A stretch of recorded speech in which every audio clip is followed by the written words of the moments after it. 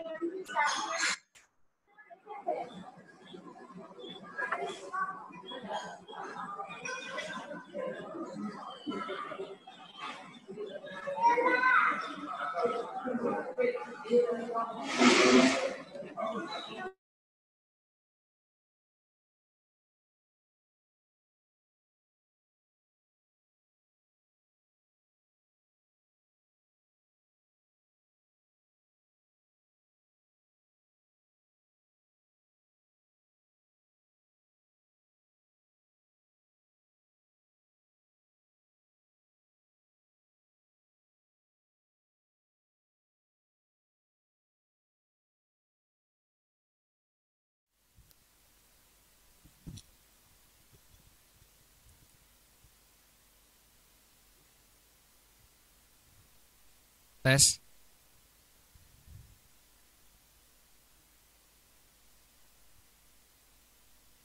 Selamat pagi. Selamat pagi narasumber. Selamat pagi, Pak. Pak Suswandi.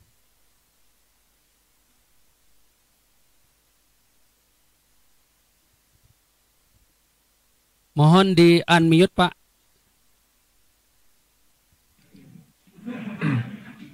Halo. Selamat pagi Pak Suswandi.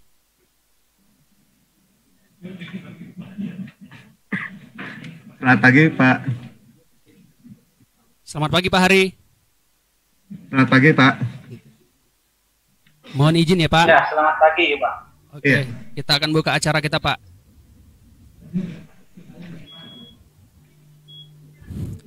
Bismillahirrahmanirrahim. Assalamualaikum warahmatullahi wabarakatuh. Waalaikumsalam warahmatullahi Waalaikumsalam. Selamat pagi, salam sejahtera untuk kita semua. Sebelumnya, kita banyak-banyak mengucapkan terima kasih kepada para peserta yang telah bergabung di acara webinar kita pagi ini. Yang pertama, selamat pagi kepada rekan-rekan instansi yang sudah bergabung, kontraktor, konsultan, mahasiswa di berbagai politeknik di Indonesia dan juga universitas, serta adik-adik dari SMU dan SMK yang telah berkenan hadir di acara seminar online pagi ini. Perkenankan Pak, saya Juan Rahartono dan rekan saya Robi Fernando yang akan memandu jalannya seminar online dengan tema teknologi pembuatan beton. Tapi sebelumnya saya ucapkan terima kasih terlebih dahulu kepada seluruh peserta yang telah meluangkan waktunya untuk bergabung bersama kita pagi hari ini. Kepada yang terhormat Bapak Profesor Insinyur Indratmo Soekarno, MSc PhD, selaku Direktur Politeknik Pekerjaan Umum. Kepada yang terhormat Bapak Gatut Santoso, selaku Manajer Biro Engineering PT Wika Beton Tbk. Bapak Wakil Direktur Wadir 1, 2, dan 3 Politeknik Pekerjaan Umum Narasumber kita dari Wika Beton Bapak Siswandi Panji Bapak Hari Agus Aditya Rekan-rekan dosen Politeknik Pekerjaan Umum serta tim pendukung Politeknik PU sehingga kegiatan seminar online pada hari ini terlaksana dengan baik. Peserta seminar yang berbahagia, e, berbicara tentang teknologi beton di era modern ini, poin penting yang harus kita pahami mengenai produk-produk beton yaitu kita harus lebih mudah digunakan untuk konstruksi. Lebih kuat, lebih awet, namun tetap ekonomis dan ramah lingkungan. E, di sisi lain, meningkatnya penggunaan beton sebagai material konstruksi akan memberikan konsekuensi yang kompleks yaitu menyangkut dampak yang ditimbulkan terhadap lingkungan. Dampak tersebut muncul baik selama eksplorasi bahan, produksi semen, maupun konstruksi. Nah, kondisi semacam ini memerlukan perhatian khusus bagi kita semua, yaitu lebih meningkatkan inovasi di era modern ini. Nah, pada rekan saya Pak Robi Fernando, menurut Bapak, oh, bagaimana sih cara perkembangan beton di era modern ini, Pak? Mohon tanggapannya Pak Robi. Baik, terima kasih Pak Juandra dan para peserta semuanya. Jadi, menurut hemat kami, dari segi standar dan dari segi peraturan saat ini kita tahu bahwasanya beton merupakan komponen dominan dalam suatu konstruksi, terutama untuk konstruksi beton bertulang. Ini bagi adik-adik SMK dan SMA yang sangat berminat di dunia sipil, beton adalah komponen tidak lepas dari dunia konstruksi. Namun, kita tahu untuk mengetahui secara menyeluruh mengenai beton, kita harus mencapai yang namanya mutu. Mutu beton yaitu yang menandakan kualitas dari beton tersebut, kemudian workability atau kemudahan pengerjaan, serta konsistensinya. Maksudnya adalah konsisten itu ketika kita transporting, ketika kita install untuk konstruksi di lapangan dapat tercapai sesuai harapan. Di mana beton itu nanti akan memiliki kapasitas yang mampu memikul beban. Apalagi pada tahun 2019 masih tahun kemarin Pak Juandra itu sudah disahkan SNI terbaru kita yaitu SNI mengenai beton dan SNI mengenai gempa.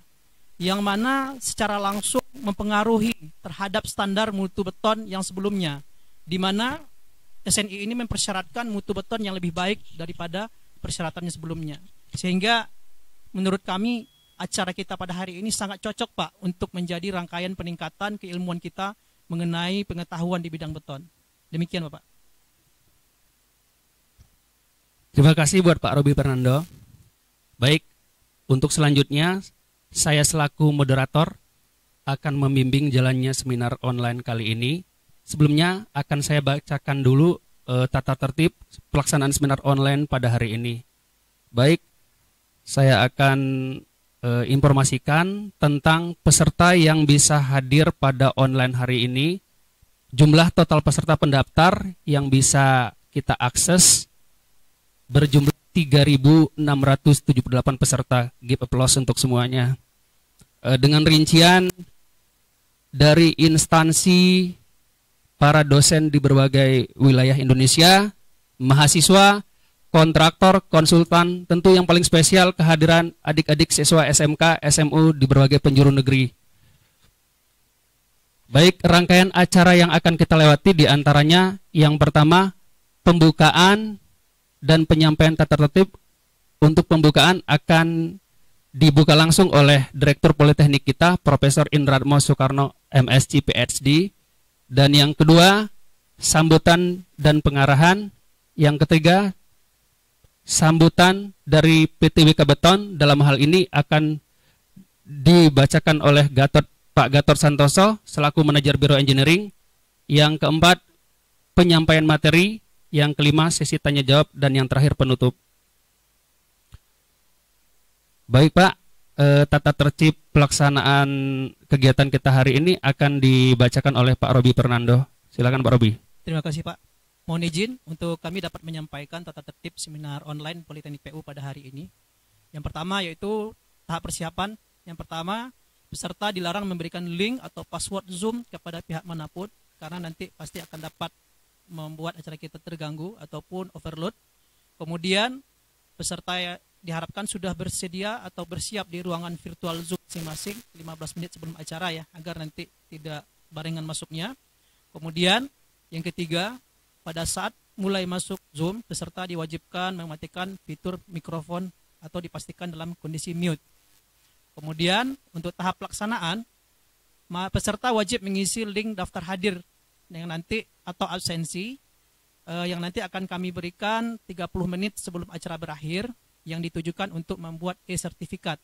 Jadi dasar pembuatan e-sertifikat adalah daftar kehadiran dari peserta, bukan pendaftaran.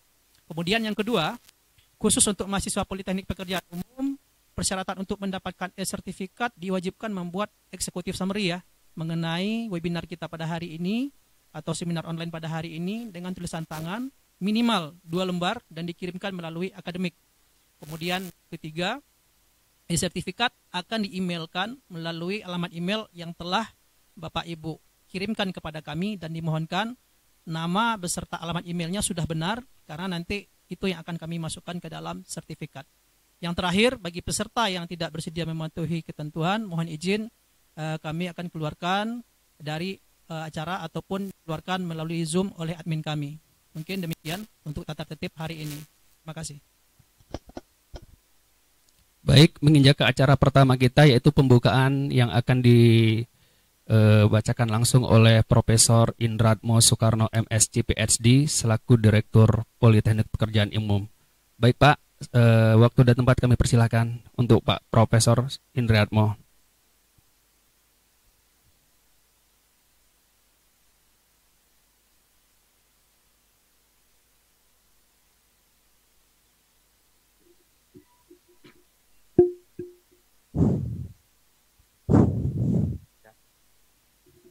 Bisa mendengar suara saya? Kecil Pak. Kecil ya suaranya ya.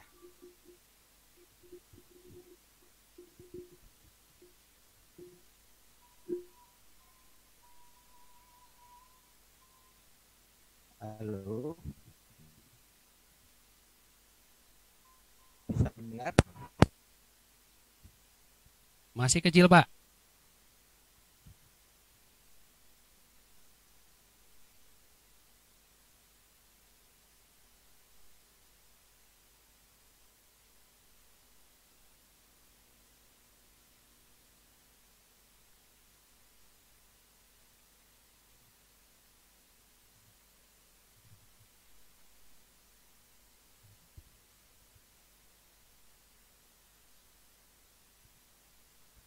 Oke.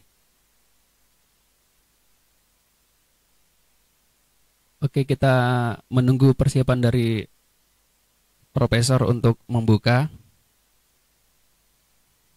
Ya mungkin sedikit wacana kita Pak. Jadi narasumber kita hari ini Pak itu berasal dari salah satu BUMN terbaik di Indonesia yang mana perusahaan ini merupakan pionir Pak untuk industri beton pracetak nasional. Jadi eh, perusahaan ini sudah malang melintang di dunia pracetak beton nasional dengan segudang prestasi. Nah, perusahaannya adalah yang sudah sering kita lihat juga yaitu PT Wika Beton di mana pada tahun ini saja mereka sudah memperoleh dua penghargaan sekaligus di ajang Anugerah BUMN Award 2020 yang dilaksanakan di Jakarta pada tang Kamis tanggal 9 Juli 2020. Ini suatu prestasi yang luar biasa Pak karena ini sudah empat kali berturut-turut Wika Beton memperoleh prestasi seperti ini. Luar biasa sekali. Nah, mungkin pada hari ini merupakan kesempatan yang uh, benar-benar apa namanya itu benar-benar bermanfaat untuk kita semua karena perwakilan dari PT Wika Betonnya sudah berkenan ya untuk membagikan ilmunya untuk kita semua dan memang kita harapkan dapat menjadikan atau menambah uh, pengetahuan kita di dunia uh, ataupun seputar pengetahuan di bidang beton. Mungkin seperti itu, Pak. Kalau di bidang jalan ataupun jembatan kira-kira seperti apa ya Pak konkretnya beton yang kita laksanakan biasanya? Uh, kalau di bidang jalan dan jembatan Pak, kita kan uh, sangat luas sekali dan sangat kompleks sekali, terutama di jembatan. Jembatan sendiri kita butuh beton itu sangat banyak sekali. Terus di jalan tol juga kita punya uh, beton. Terus juga produk-produk precast yang lainnya untuk kegiatan penunjang di jalan dan jembatan juga sangat banyak sekali Pak Robi. Kalau di gedung bagaimana Pak Robi? Kalau di bagian gedung sekarang sudah banyak teknologi canggih ya, seperti di China itu sudah bisa membangun rumah sakit itu middle rise building dalam waktu tujuh hari. Jadi memang teknologi saat ini bisa kita adopt sebenarnya. Sebenarnya nanti di webinar kita ataupun uh, apa seminar online kita di series ke-6 kalau saya tidak salah itu kita akan membahas konstruksi di rumah sakit Pulau Galang. Nah, itu modular yang kita konstruksi memakai konstruksi modular sehingga nanti peserta yang hadir saat ini juga dapat mengikuti webinar tersebut narasumbernya langsung dari praktisi yang melaksanakan langsung pekerjaan rumah sakit Pulau Galang yang mana di situ sistemnya precast modular yang pelaksananya sangat cepat Pak sangat cepat sehingganya salah satu keunggulan precast itu yang saat ini seperti itu Oke Pak. Mungkin... Ini sambil menunggu Pak Prof ya Pak kita uh, diskusi-diskusi ringan dulu. Jadi mohon maaf karena memang ada uh, permasalahan di bidang koneksi. Jadi kita harapkan beberapa saat lagi uh, Direktur Politeknik Pekerjaan Umum dapat kembali bergabung bersama kita. Untuk sekedar informasi bagi para peserta semuanya Jadi Politeknik PU ini izinkan kami ya sebelumnya untuk menceritakan sedikit mengenai Politeknik Pekerjaan Umum. Yang mana Politeknik Pekerjaan Umum ini adalah rintisan awal ataupun usulan dari Pak Menteri Pekerjaan Umum yaitu Pak Basuki Hadi Mulyono yang dalam hal ini menginginkan adanya SDM yang benar-benar berkualitas di bidang konstruksi yang dapat melaksanakan pekerjaan sesuai dengan uh, spesifikasi yang kita inginkan dan meminimalisir meminimalisir adanya kecelakaan kerja dan lain sebagainya.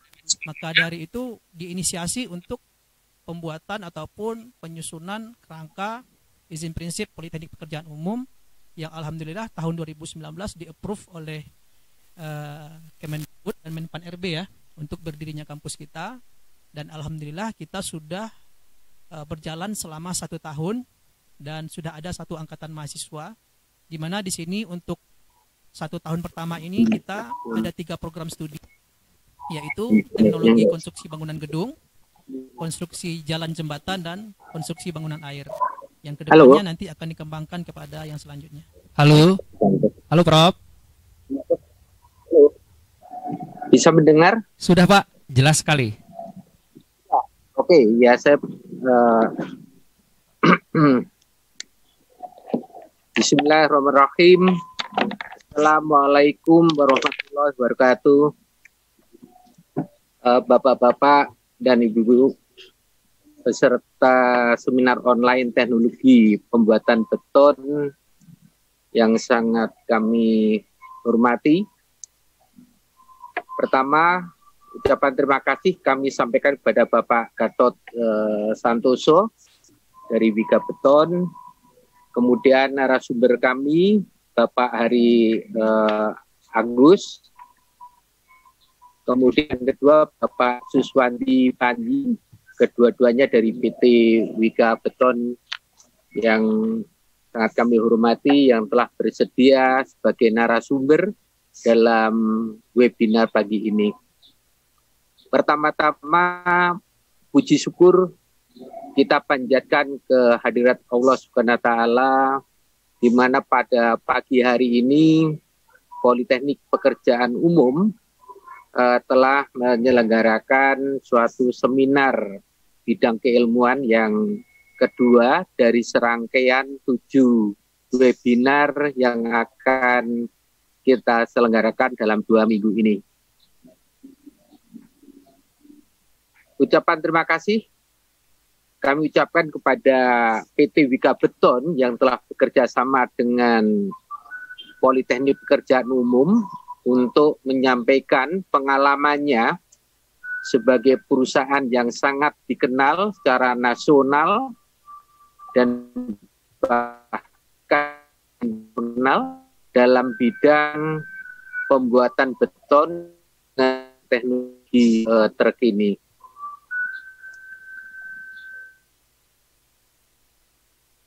Apresiasi yang sebesar-besarnya ada suatu hikmah dari munculnya pandemi COVID-19 ini. Ternyata sebenarnya untuk melakukan sharing ilmu pengetahuan untuk diseminasi kita bisa dilakukan dengan cara yang lebih mudah, yang bisa lebih murah dengan melibatkan peserta yang jauh lebih besar daripada dilakukan secara konvensional. Menurut panitia pagi ini acara diikuti oleh 3.678 peserta tersebar dari seluruh bagian tanah air, baik dari perguruan tinggi, dari dunia usaha, dari para peneliti, maupun para pemerhati dalam bidang teknologi uh, konstruksi.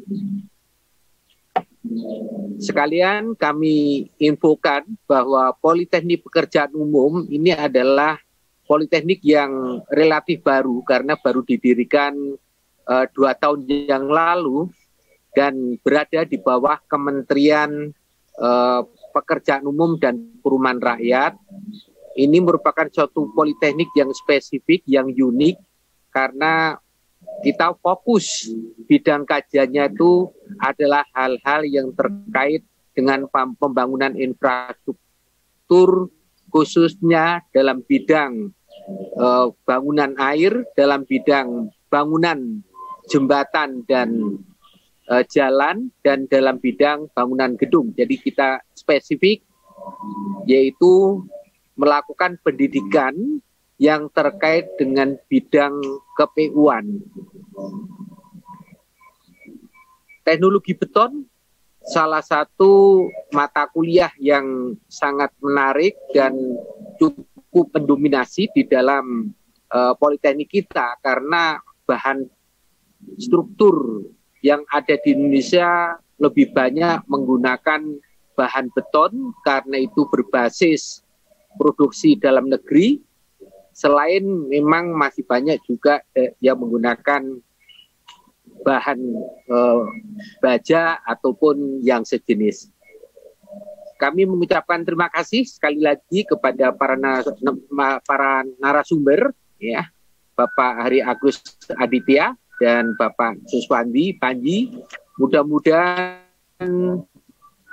uh, lecture hari ini bisa merupakan sharing yang meningkatkan pengetahuan uh, terutama bagi mahasiswa-mahasiswa bidang uh, infrastruktur ya khususnya yang berkaitan bahan beton. Demikian saya harap semoga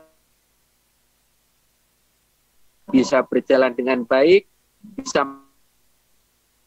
khususnya para mahasiswa dan khususnya bagi mahasiswa uh, Politeknik Pekerjaan Umum. Dengan demikian, acara webinar secara resmi kami buka dengan ucapan Bismillahirrahmanirrahim. Semoga bisa berjalan dengan lancar.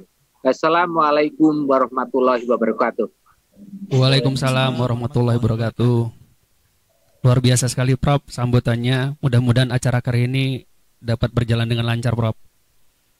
Uh, untuk acara yang kedua, uh, pengantar dari manajemen Wika Beton dalam hal ini akan diwakili oleh Bapak Gatur Santoso selaku manajer Biro Engineering di PT Wika Beton. Waktu dan tempat kami persilakan.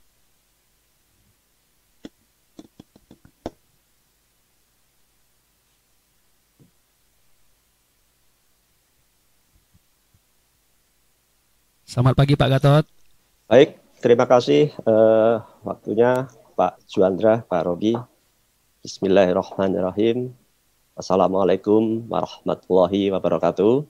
Waalaikumsalam. Waalaikumsalam warahmatullahi wabarakatuh. Uh, yang kami hormati Bapak Direktur Politeknik Pekerjaan Umum, Bapak Profesor Insinyur Indratmo Soekarno, MSCPHD, juga tentunya yang kami hormati Bapak Wakil Direktur 1, 2, dan 3 Politeknik eh, PU beserta tim pendukung PU. Eh, pertama-tama tentunya eh, bersama-sama kita panjatkan puji syukur kepada Allah Subhanahu taala Tuhan Yang Maha atas limpahan rahmat, hidayah dan inayahnya. Alhamdulillah dalam eh, suasana pandemi Covid kita semua masih diberi kesehatan sehingga e, masih bisa melakukan aktivitas dan tentunya pada pagi hari ini seperti yang sampaikan kita mengadakan seminar online tentang teknologi beton. Dan tentunya pada kesempatan kali ini kami sampaikan dari PT Wika Beton mengucapkan terima kasih kepada eh, tim Politeknik PU atas kesempatan yang diberikan untuk bisa eh, berbagi pengalaman kami di dalam dunia perbetonan. Dan tentunya eh, nanti tentang materi beton akan disampaikan oleh rekan kami eh, Bapak Suswati Panji juga Bapak IGP Hari. Dan eh, sebelumnya perkenankan kami untuk sedikit menyampaikan atau memperkenalkan tentang perusahaan kami eh, Wika Beton. Eh, bisa minta tolong Pak IGP di share. Ah, eh, tadi sudah sempat disampaikan oleh Pak Juandra sedikit mengenai Wika Beton. Wika Beton sendiri merupakan salah satu perusahaan anak yang dimiliki oleh PT Wijaya Karya. Anak-anak lain selain Wika Beton, kerja kerja ada Wika Gedung, Wika Instruksi Konstruksi, Wika Rekayasa Konstruksi, Wika Realty, eh, juga Wika Bitumen, dan Wika Serang Panimbang. Nah, Wika Beton sendiri juga setelah memiliki perusahaan anak, di antaranya Wika Kubi, kemudian Wika Krakatau Beton, dan Wika CLD. Dan uh, Wika Wika Beton sendiri itu sebenarnya sudah uh, lanjut Pak Ari. Wika Beton sendiri di mana core bisnis kita memang sebagai precaster memproduksi beton-beton precast dan alhamdulillah secara geografis sudah menyebar di Indonesia dari barat sampai ke timur. Kalau bisa kita saya sampaikan di sini, eh, mulai dari kita lihat dari Sumatera, di Sumatera Utara ada pabrik, kemudian eh, menuju ke timur agak selatan di Lampung dan Lampung Selatan. Jadi ada tiga pabrik ditambah sedang berjalan di Bangkinang juga sekarang sedang ada yang eh, plan mobile. Kemudian di Pulau Jawa sendiri ada beberapa pabrik mulai dari barat di Bogor, kemudian di Majalengka, di Kerawang, di Subang, bergerak ke timur ada di Jawa Tengah, ada di Boyolali, dan semakin ke timur ada di Pasuruan. Kemudian sementara di eh, agak ke timur di luar Pulau Jawa ada di Sulawesi Selatan yaitu di Makassar. Nah dari pabrik-pabrik tersebut tentunya eh, mensupport atas kebutuhan-kebutuhan proyek atas prekes yang ada dengan e, mendekatkan di area-area tertentu juga juga bisa disuplai menggunakan e, distribusi e, laut untuk daerah-daerah yang memang agak jauh dari lokasi pabrik tersebut. Selain prekes, kita juga e, ada beberapa unit usaha lain e, seperti crushing plan juga beberapa bergerak juga sedang berjalan tidak hanya precast kita juga bergerak di ready mix juga untuk mensuplai kebutuhan beton beton di uh, beton ready mix yang dibutuhkan di area-area tersebut. Nah, uh, kapasitas kami dalam memproduksi beton dari seluruh 11 pabrik yang ada dalam setahun kapasitas 4 juta 366 ton. Sementara eh, dari perusahaan anak 336 ribu ton dan ready mix 1 juta 878 ribu ton. Sehingga total kapasitas kami bisa memproduksi beton dalam setahun 6 juta 580 ribu ton. Eh, perjalanan kami Liga Beton eh, dimulai awalnya di tahun 1980 memproduksi eh, tiang beton waktu itu, kemudian eh, dalam perkembangannya dilanjutkan dengan produk-produk precast yang lainnya berkembang yang lainnya.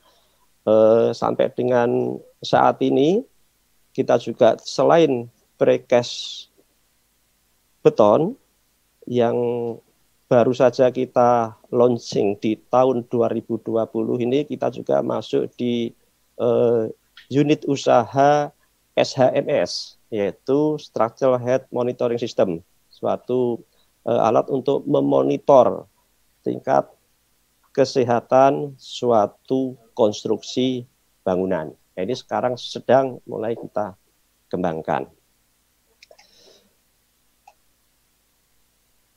Uh, beberapa produk yang sudah kami produksi, di antaranya Pool, kemudian ada PC Pile, tiang pancang, tentunya beberapa eh, penampang dan juga memiliki karakter sesuai dengan kebutuhan di proyek PC file ini ada yang PC spoon PC spoon file, PC square file, PC triangular file dan PC spoon square file yang merupakan kombinasi dari PC spoon file dan PC square file. Kemudian produk lainnya adalah railway. Ini ada beragam tipe, intinya suatu produk untuk kebutuhan eh, bantalan jalan rel, ada sleeper, catenary pool dan tune out sensor.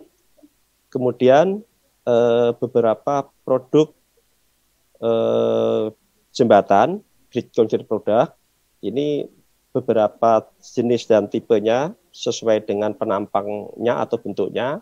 Eh, PCA girder, PCU girder, ada voided slab, ada box girder, ya, si bulb T, slab, kemudian double T dan full depth slab. Nah, untuk eh, produk-produk uh, di kebutuhan untuk penahan tanah juga kami memiliki corrugated concrete sheet pile dan flat concrete sheet pile. Nah, untuk uh, produk hidrokonkret kami juga memiliki uh, pipa beton dan juga eh, precast eh, Judit.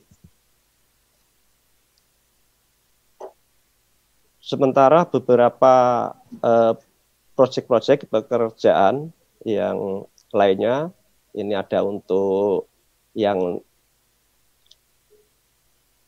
untuk bangunan gedung kita juga precast gedung sesuai dengan eh, komponen-komponen precast mulai dari kolom, balok, eh, lantai, dinding, fasad dan lain-lain. Kemudian untuk marine concrete product ada tripod, eject dan lain-lain eh, sesuai dengan kebutuhan project. Dan juga untuk produk beton lainnya di, di antaranya precast tunnel yang seperti yang kemarin di MRT, kemudian ada rigid pavement juga. Dan selain produk-produk berupa uh, produk beton dari servis, kami juga uh, menginstall juga untuk kegiatan konstruksi atas produk-produk kami, baik bogirder, e juga kita menginstalasi seperti yang sekarang sedang berjalan. Kita ada uh, pekerjaan proyek di Petarani Makassar dan beberapa proyek lain sebelumnya tentunya seperti di eh, Semanggi kemarin. Kemudian untuk di pondasi ada piling juga kita memiliki untuk pemancangan juga. Dan untuk pekerjaan post tensioning juga kami eh, melaksanakannya juga. Nah, di dalam mendukung kegiatan kami untuk eh, menjaga sebagai bagian dari qualification kami beberapa sertifikasi yang telah kita gunakan, eh, sertifikat ISO 9001 2015, 14000 2015, juga di eh, safety kita SMK 3 dan OXAS 8001 2007.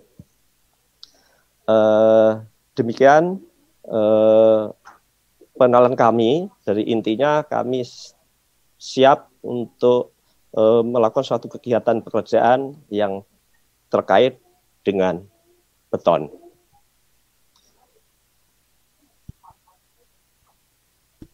Baik, Baik. terima kasih banyak Pak Gatut atas kata Ya, sambutannya. saya kira sudah Bapak.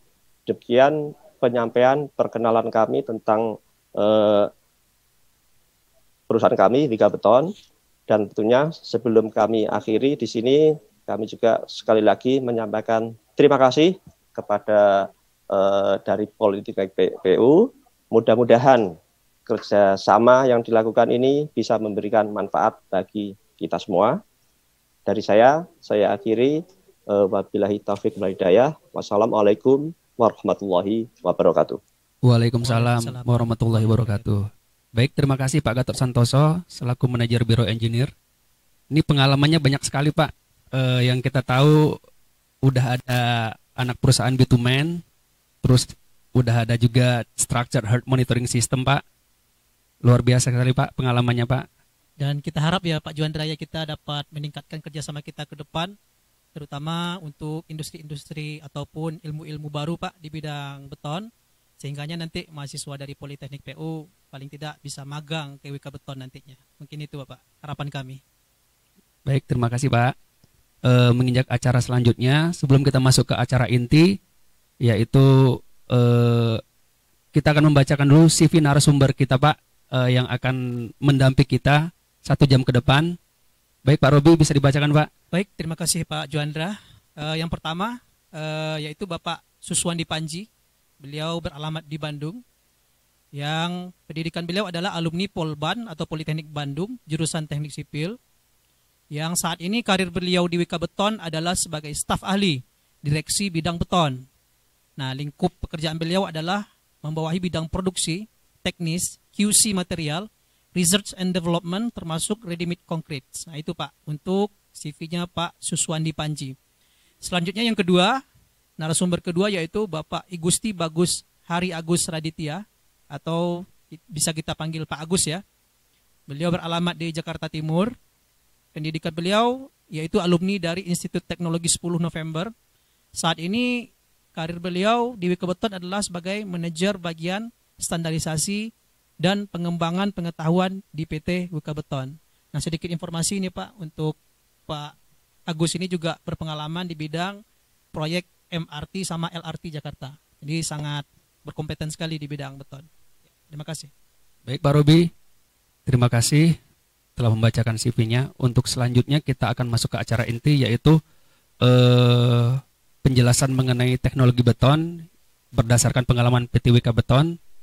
Eh, sebelumnya untuk absensi eh, nanti 30 menit sebelum acara berakhir bisa melakukan absensi ulang untuk yang ingin mendapatkan sertifikat yaitu di channel YouTube kami di Politeknik Pekerjaan Umum dan bisa melakukan chat melalui Zoom juga. Terima kasih.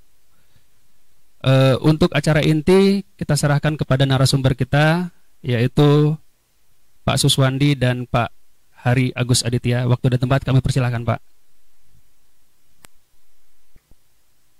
Baik, eh, terima kasih Pak Juandra dan Pak Robi. Bismillahirrahmanirrahim. Assalamualaikum warahmatullahi wabarakatuh. Yang sama-sama kita hormati Bapak Direktur, Bapak Wakil Direktur Politeknik PU beserta jajarannya, yang kami hormati Manajer Biro Engineering PT PT Beton, juga yang saya hormati teman-teman panitia, para peserta webinar. Pertama-tama kami aturkan terima kasih atas kesempatan yang sudah diberikan kepada kami untuk menyampaikan pemaparan eh, teknologi pembuatan beton pada kesempatan eh, seminar online eh, Politeknik PU. Nah, dalam kesempatan ini tentunya nanti kami bersama Pak IGB Hari akan menyampaikan dalam beberapa bagian. Di mana yang pertama adalah kita akan mencoba menyegarkan kembali ingatan kita mengenai material-material apa sebagai industri beton, bagaimana yang kita harapkan dan penanganannya untuk mendapatkan suatu campuran yang optimal. Yang pertama. Kemudian yang kedua nanti kita juga akan coba sedikit gambaran mengenai perencanaan komposisi beton. Ini nanti kita akan coba bagaimana sederhananya, mudahnya melakukan uh, perencanaan komposisi beton. Jadi tidak seribet apa yang mungkin ada dalam bayangan kita. Nah, kemudian yang ketiga adalah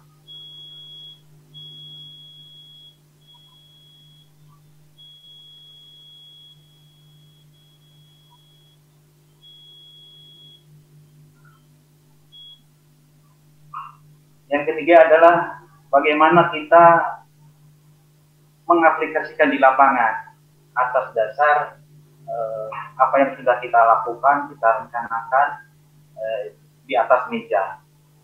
Tentunya di sini adalah pembuatan jobnik, kemudian eh, mengkondisikan penyesuaian dengan kondisi materi yang ada di lapangan. Tentunya di sini eh, lebih berperan bagaimana kita e, memproses, mengendalikan kondisi material yang sudah ada di lapangan atau mungkin juga sebelum masuk ke basis tank kita. Dan terakhir adalah dokumentasi-dokumentasi e, sekitar teknologi beton. Baik, saya mulai Pak. Jadi kita coba untuk pengenalan bahan ini uh, kita coba menyegarkan kembali ingatan-ingatan kita mengenai uh. Nah ini adalah apa yang disebut beton. Jadi beton adalah suatu satuan bahan yang terbentuk dari bahan pengisi yang diikat oleh fasa semen yang mengeras. Nah, di sini ada dua, dua kelompok, yang satu bahan pengisi, yang satunya lagi adalah bahan pemikat. Kita bisa menyampaikan bahwa bahan pengisi itu adalah agregat kasar sama agregat halus. Sementara untuk bahan pemikatnya adalah semen, kemudian air, juga bahan tambahan.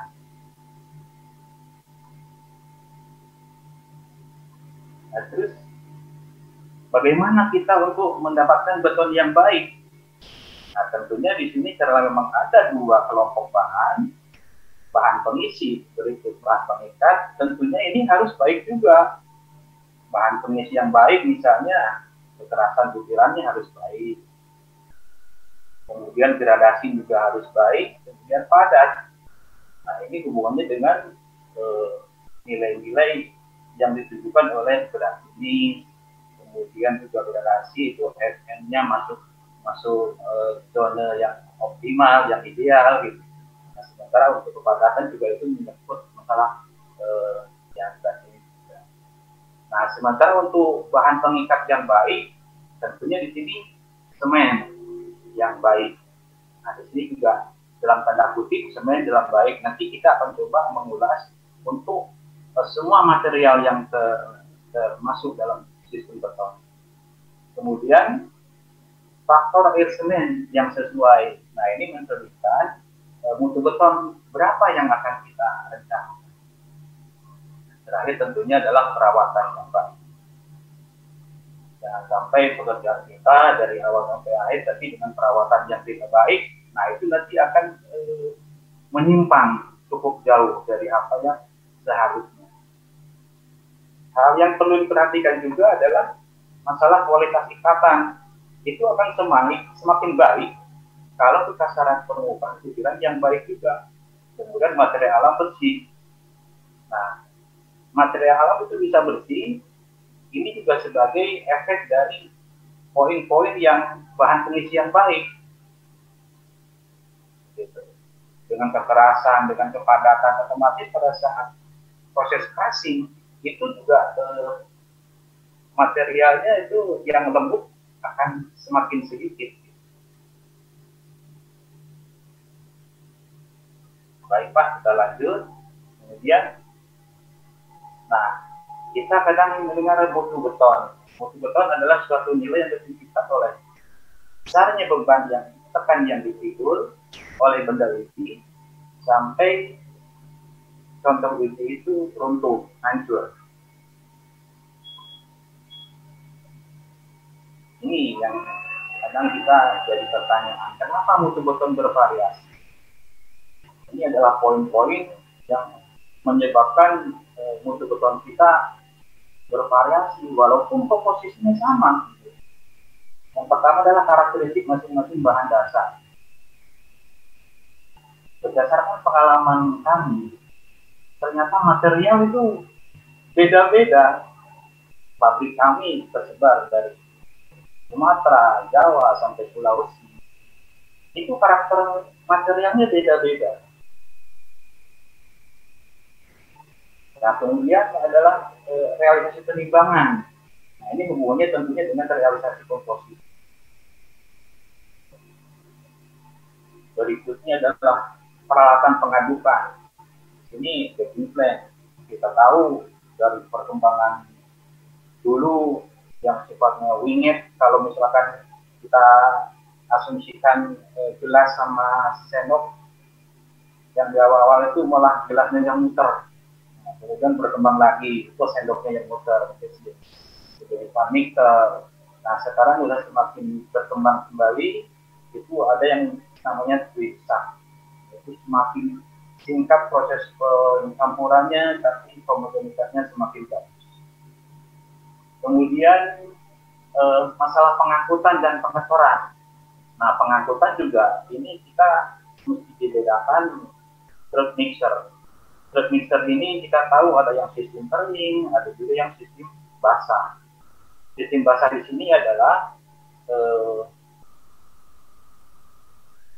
mixer berfungsi sebagai distributor dari basic point ke lokasi pemacoran. Tapi ada lagi yang sifatnya eh, sistem kering.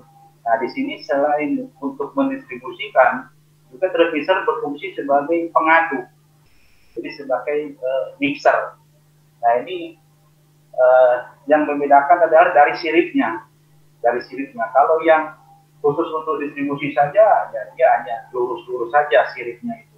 Tapi kalau untuk yang sebagai pengaduk atau untuk dry mixing itu ada semacam uh, kakinya, kakinya, ada ada tekukannya gitu sehingga dia bisa mengaduk uh, adukan.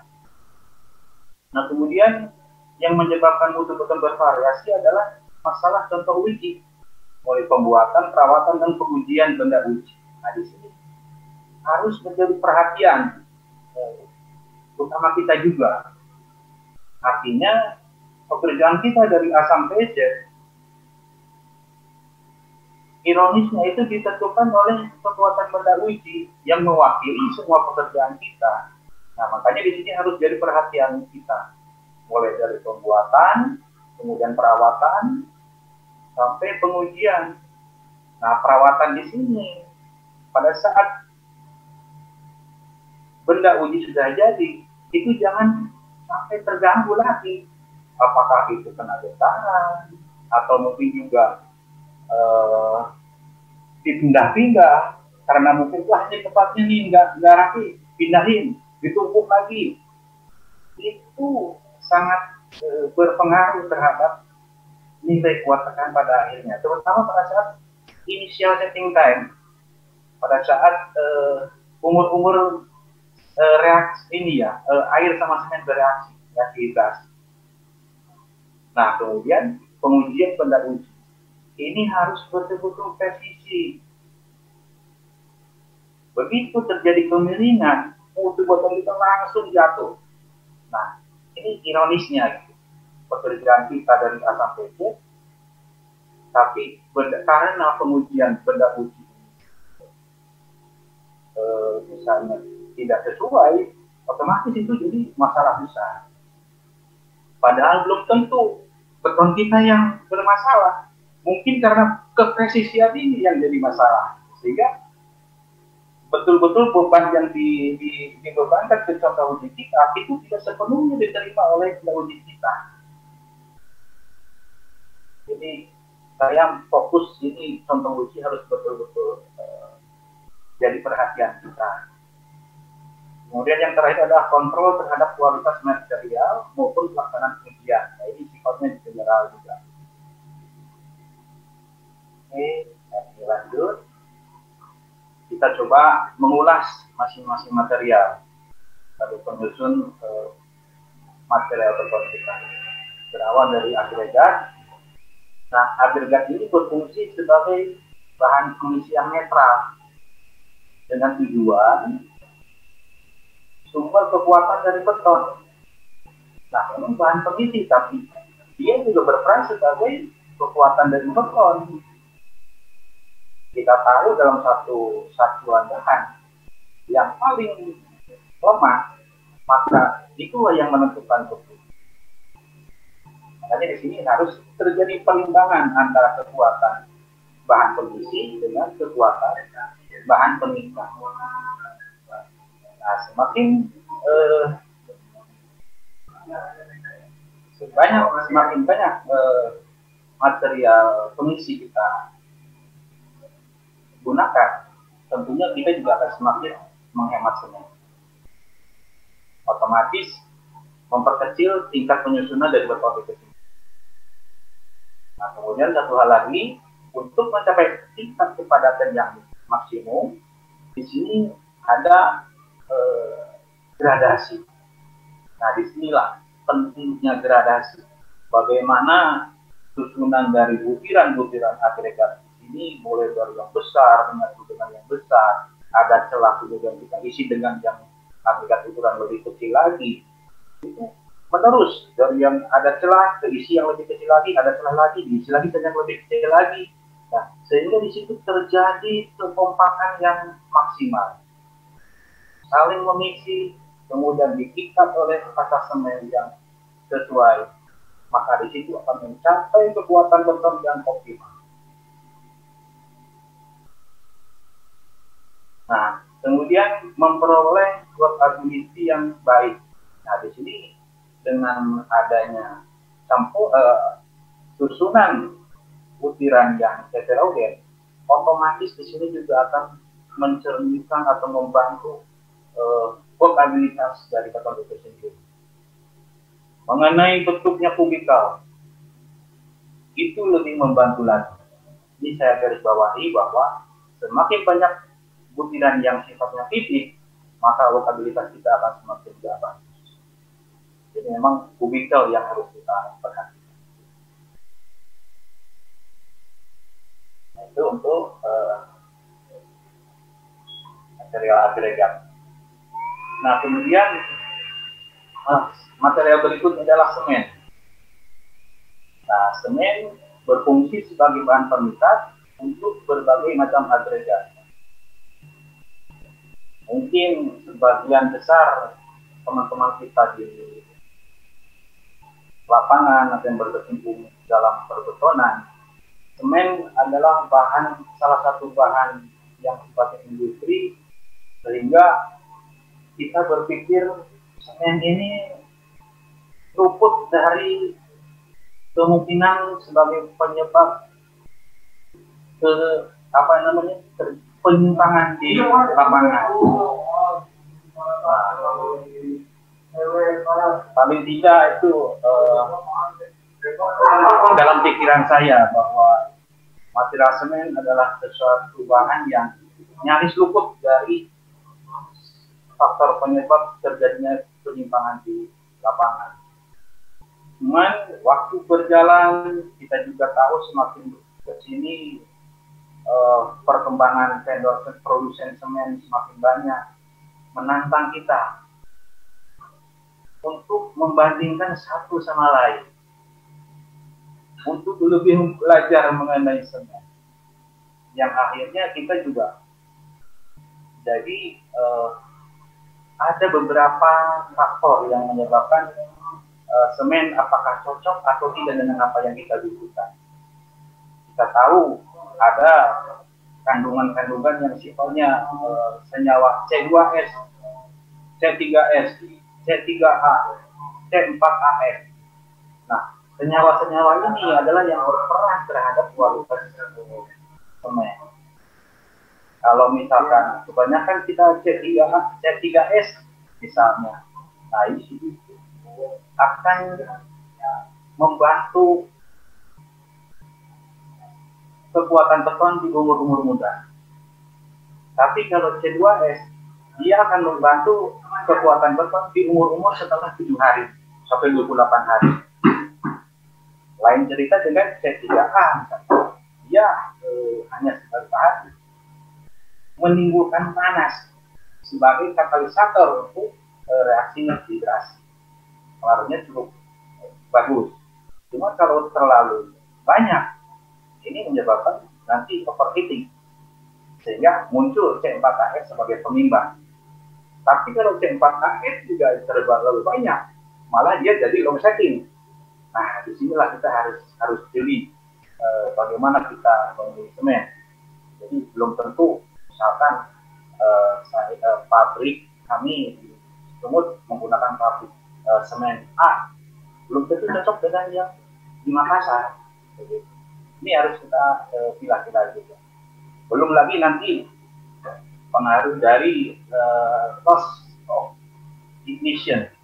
Nah ini ada ada pembicaraan uh, apa namanya ada kalau loss of ignitionnya ini lebih dari yang disyaratkan lebih dari lima persen ini ada kemungkinan batu-batuan yang ada dalam beton hancur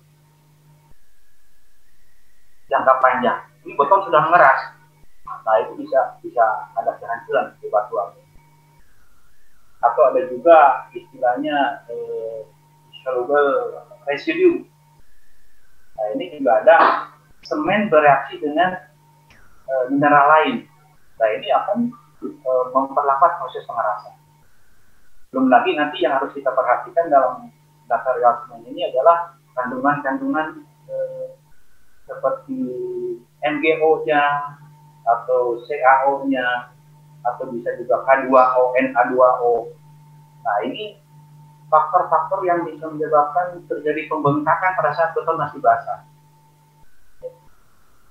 Jadi memang untuk setiap penyusun bahan beton itu potensi untuk menyebabkan penyimpangan masih ada.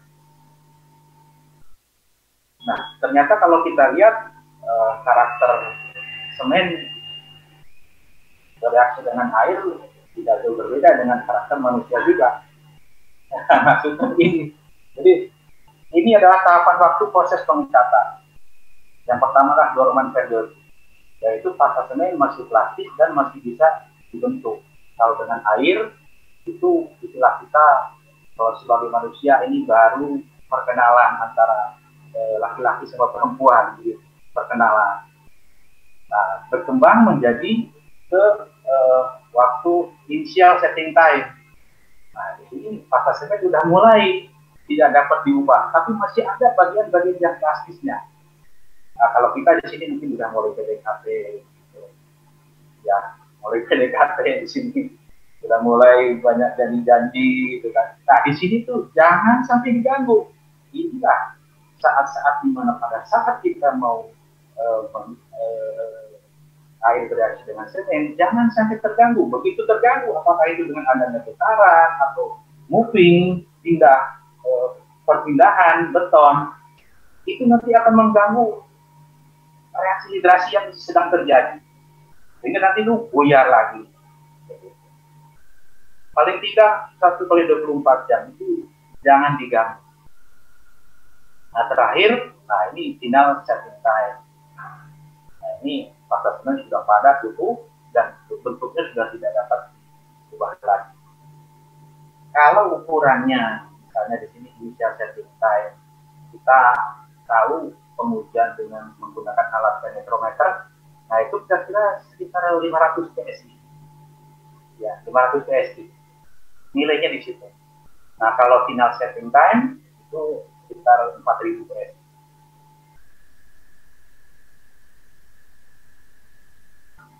Pak, nanti kita lanjut sekarang masalah air. Nah, air air ini bisa sebagai bahan penghidrasi semen sehingga bisa berfungsi sebagai bahan pengikat.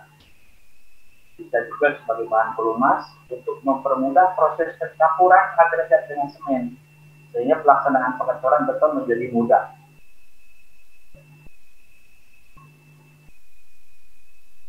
Air juga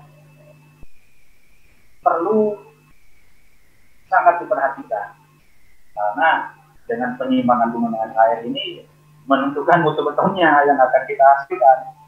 Nah, misalnya kekurangan air, mungkin dalam batas tertentu kuat tekan akan naik, tetapi setelahnya otomatis turun pengecoran lebih sulit. Nah, sehingga proses pengecoran harus lebih cepat. Kemudian perlu pemadatan ekstra agar tidak terobos. Sekarang kalau misalkan kelebihan air, kuat tekan beton akan turun. Jadi pengecoran akan lebih mudah, bisa terjadi bleeding atau segregasi, kemudian cenderung terjadi penyusutan karena air banyak menguap jadi pori. Nah, lanjut Pak, sekarang administer. Nah, administer adalah e, berfungsi untuk merubah sifat beton sedang. Nah, kadang-kadang di lapangan kita sederhana saja. Ingin e, administer untuk menaikkan mutu beton.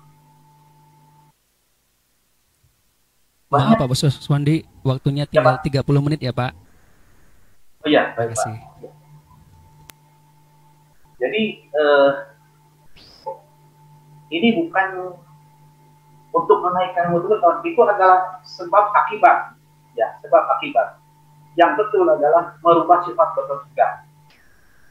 Secara umum, ini kita bisa kelompokkan jenis emissor itu adalah AEA yaitu untuk menciptakan peluru udara dalam beton kemudian accelerator untuk mempercepat proses pembuatan kemudian retarder memperlambat proses peningkatan dan terakhir adalah superstabilizer atau water nah maksud saya untuk yang masalah uh, penyegaran beton segar kalau seandainya kita dalam satu konturan beton masih asli semen, pasir, sprit, kemudian air menggunakan selam tujuh yang terjadi.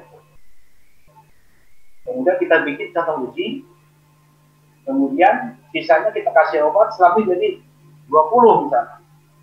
Nah, kita bikin contoh uji juga. Nah, itu kecenderungan mutu pun tidak akan meningkat. Nah, di situlah makanya saya sampaikan di sini adalah bahwa administrasi itu berubah sifat segar dari selang 7 jadi selang 20 misalnya. Tapi tidak akan menaikkan e, mutu beton begitu. Nah, sebagai e, sebab akibatnya kalau kita tetap menentukan Islam menjaga Islam tujuh, nah kita otomatis akan mengurangi air. Dengan pengurangan air otomatis e, mutu beton juga akan e, naik. Dan berikutnya adalah nah ini juga ini Pak beberapa material beton yang tapi bentuknya sebagai semen bios Nah, mudah-mudahan dengan kita mengetahui eh, apa apa material kondisi beton, bagaimana kita mendapatkan data-data eh, yang tadi, kita akan melang, eh, memudahkan untuk proses perencanaan pembuatan beton. Nah, kami ditanya untuk masalah desain beton konvensional sama precast Nah, di sini saya coba ada beberapa poin yang sifatnya perbedaan antara konvensional sama aplikasi. Yang pertama adalah e, sifat pekerjaan. Konvensional biasanya itu proyek atau non standar. Kemudian kalau aplikasi industri standar. Nah, di sini hubungannya adalah dengan nilai DFSI standar. DFSI standar ini masalah keyakinan kita. Kita belum tahu material, karakter material kalau yang non standar sehingga untuk keamanannya kita cenderung untuk menaikkan nilai DP standar. Tapi kalau misal untuk produk yang prepare, kita sifatnya udah industri standar, sudah terbiasa, kita udah kenal karakter material, kecenderungan kita bisa menekan uh, nilai deviasi standar. Nah, ini adalah sebab sebabnya hubungannya dengan karakteristik material. Kemudian target produksi, target, target produktivitas. Kalau konvensional itu norma-norma saja. Kalau saya stop sudah selesai. Tapi kalau untuk precast kita ada target siklus, ada target kiri, sehingga suatu saat kita butuh uh, beton yang high furnace strength. Di sini penangannya adalah uh, penggunaan jenis admixture atau alternatif semen video. Kemudian berikutnya adalah retensi slab. Nah, kalau konvensional yang dibutuhkan adalah ketahanan mulai dari distribusi sampai pekerjaan cor. Kalau kita selain pekerjaan cor juga kita harus kejar siklus. Kembali lagi kita alternatif jenis admixture yang kita butuhkan. Kemudian mengenai lokalitas beton segar. Kalau konvensional itu selang normal saja standar, tapi kalau precast ini uh, bisa bervariasi. Mulai dari dry concrete bisa selam nol sampai dua misalnya atau bisa juga sampai selam flow untuk uh, uh, high performance concrete sini juga uh, terdapat jenis Nah di sini saya coba sekarang untuk contoh kasus ini saya coba sesederhana mungkin sehingga proses perencanaan ini eh, eh, tampak mudah sederhana. Misalnya kita akan perencanaan dengan ketentuan nah seperti ini Pak, betul-betul kita misalkan SP30 selam 12 dua dan jenis agregat ya, halus yang pada 25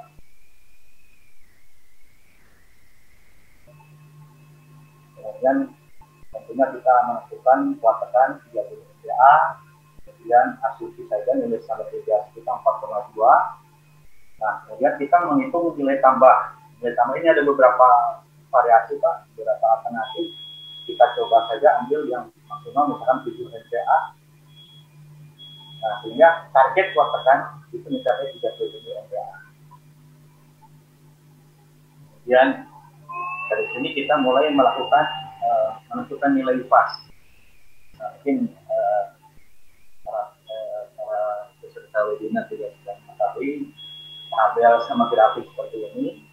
Nah, di sini eh, katakanlah kita ketemu pasnya 0,51. Satu hal yang harus saya tekankan di sini adalah kemungkinan optimalisasi komposisi di sini. Ini salah satu strategi kita.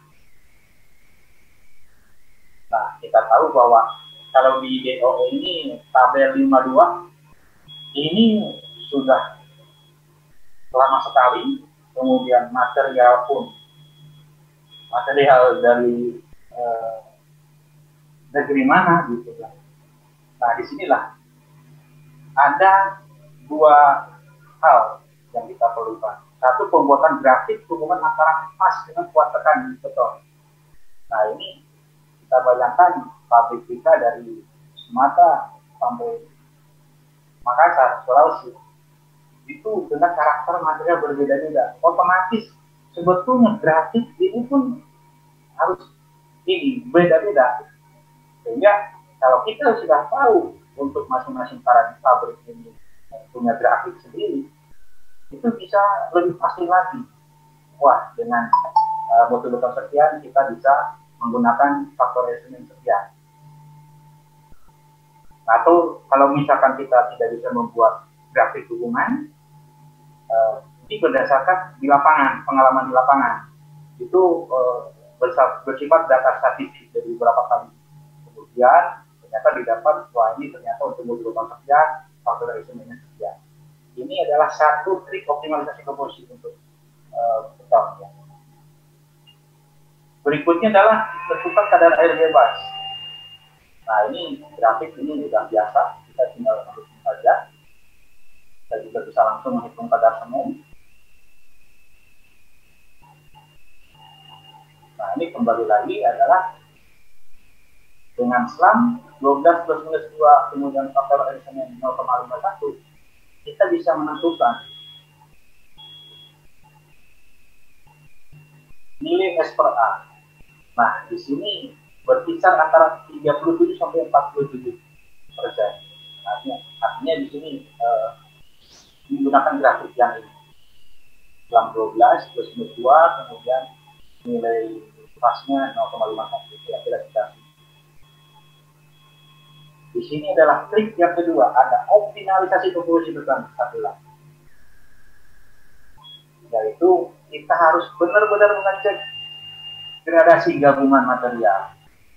Bagaimana kita mendapatkan idealnya? Jadi ketemu S per A itu yang optimal di mana? Ingat bahwa ini sangat penting karena pertimbangan kekompakan material dalam uh, menerima beban. Nah, katakanlah kita misalnya mendapat 42 persen. Ya, kita bisa langsung lihat berat jenis gabungan uh, sekitar 2,592. Kemudian kita juga bisa langsung mencari nilai berat jenis beton segar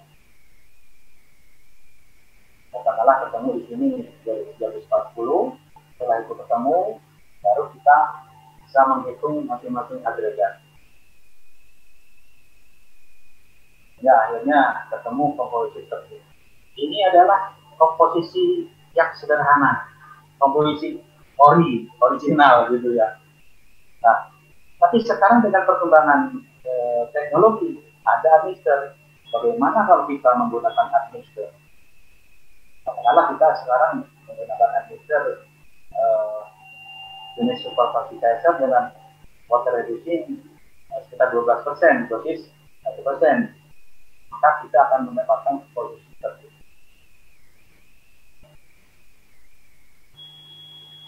Sini ada penyesuaian pengurangan air yang tadinya 202 menjadi 108 otomatis di sini juga uh, ketemu semuanya sekian otomatis ada penyesuaian perhitungan dari agregat kasar dan agregat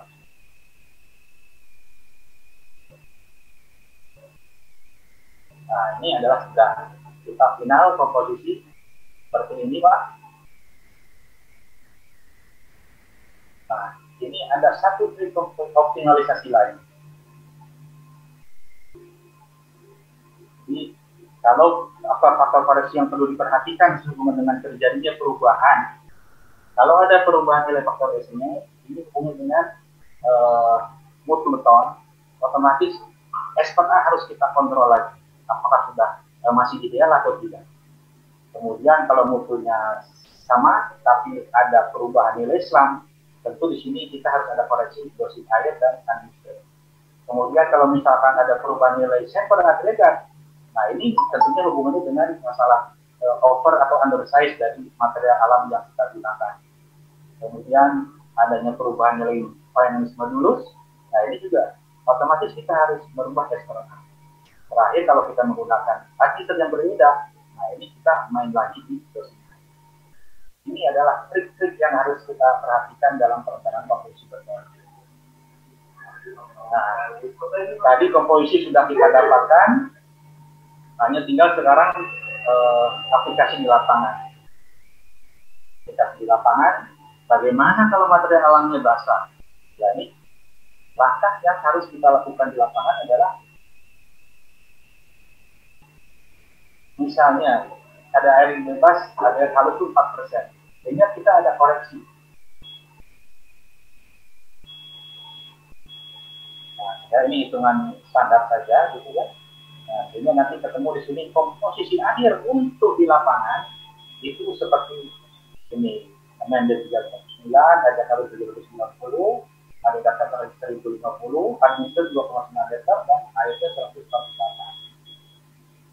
Nah, berikutnya bagaimana supaya komposisi ini bisa diterapkan dan aman. Nah, di sinilah peran quality control kita. Jadi, eh, apa yang harus kita kendalikan? Ini saya jabarin jadi tiga proses pengendalian. Jadi pekerjaan perencanaan komposisi sudah selesai, sekarang tinggal aplikasi di lapangan bagaimana untuk mencapai hal yang uh, sesuai dengan yang kita targetkan. Tentunya di sini adalah kita mengendalikan uh, bagaimana kita mengontrol proses penerimaan material Yang kedua, bagaimana kita mengendalikan dan mengatasi masalah yang ada berdasarkan material yang sudah terlanjur kita terima. Kadang-kadang kita eh, ada penyimpangan-penyimpangan. Tadi di sini untuk pengendalian material, itu pemeriksaan material saat incoming proses, kemudian pengujian material secara periodik. Ini harus tetap dilakukan. Kemudian kalau pengendalian alat, ya tetap harus kalibrasi. Ini yang harus kita perhatikan. Sementara pengendalian prosesnya mulai dari material, penataran dan pencampuran, uh, pengadukan, pengangkutan, ini setiap tahapan proses harus betul-betul uh, terkontrol dan terkendali.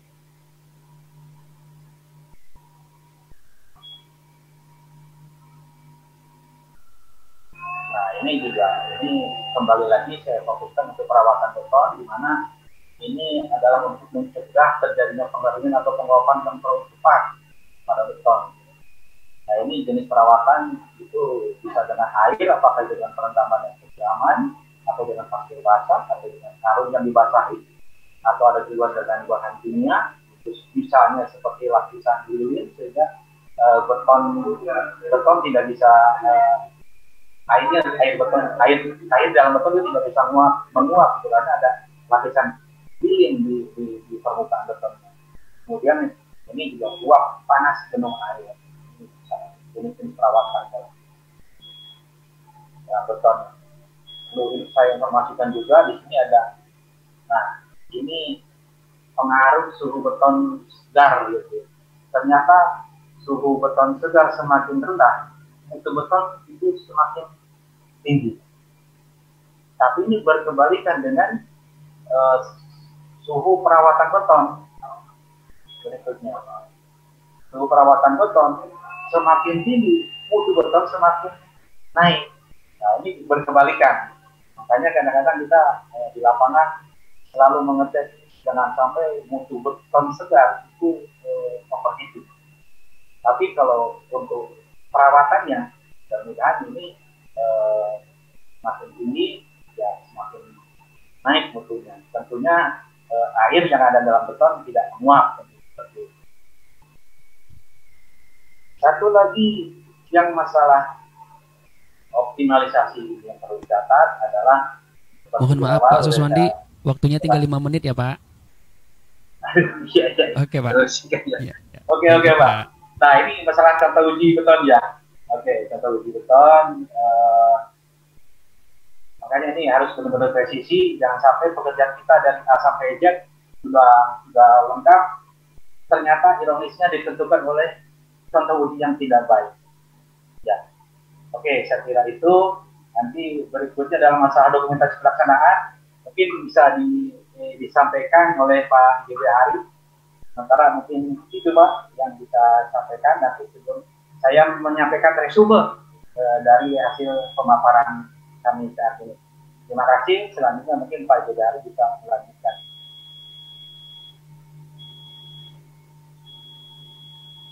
Baik, terima kasih Pak Suswandi.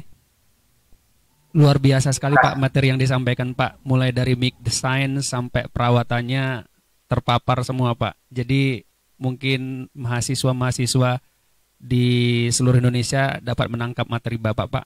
Mungkin selanjutnya materi yang disampaikan sama Pak Hari silahkan Pak dipaparkan Pak. Waktu dan tempat kami persilahkan Pak.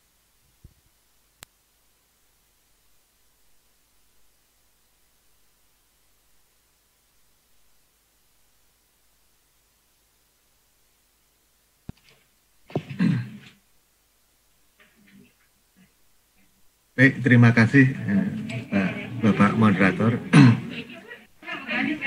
Baik, kami akan uh, melanjutkan pemaparan dari Pak Suswandi tentang uh, tata cara pelaksanaan pekerjaan pembetonan di lapangan baik di untuk produk precast maupun uh, sekilas untuk uh, apa namanya pekerjaan di proyek atau di site ya.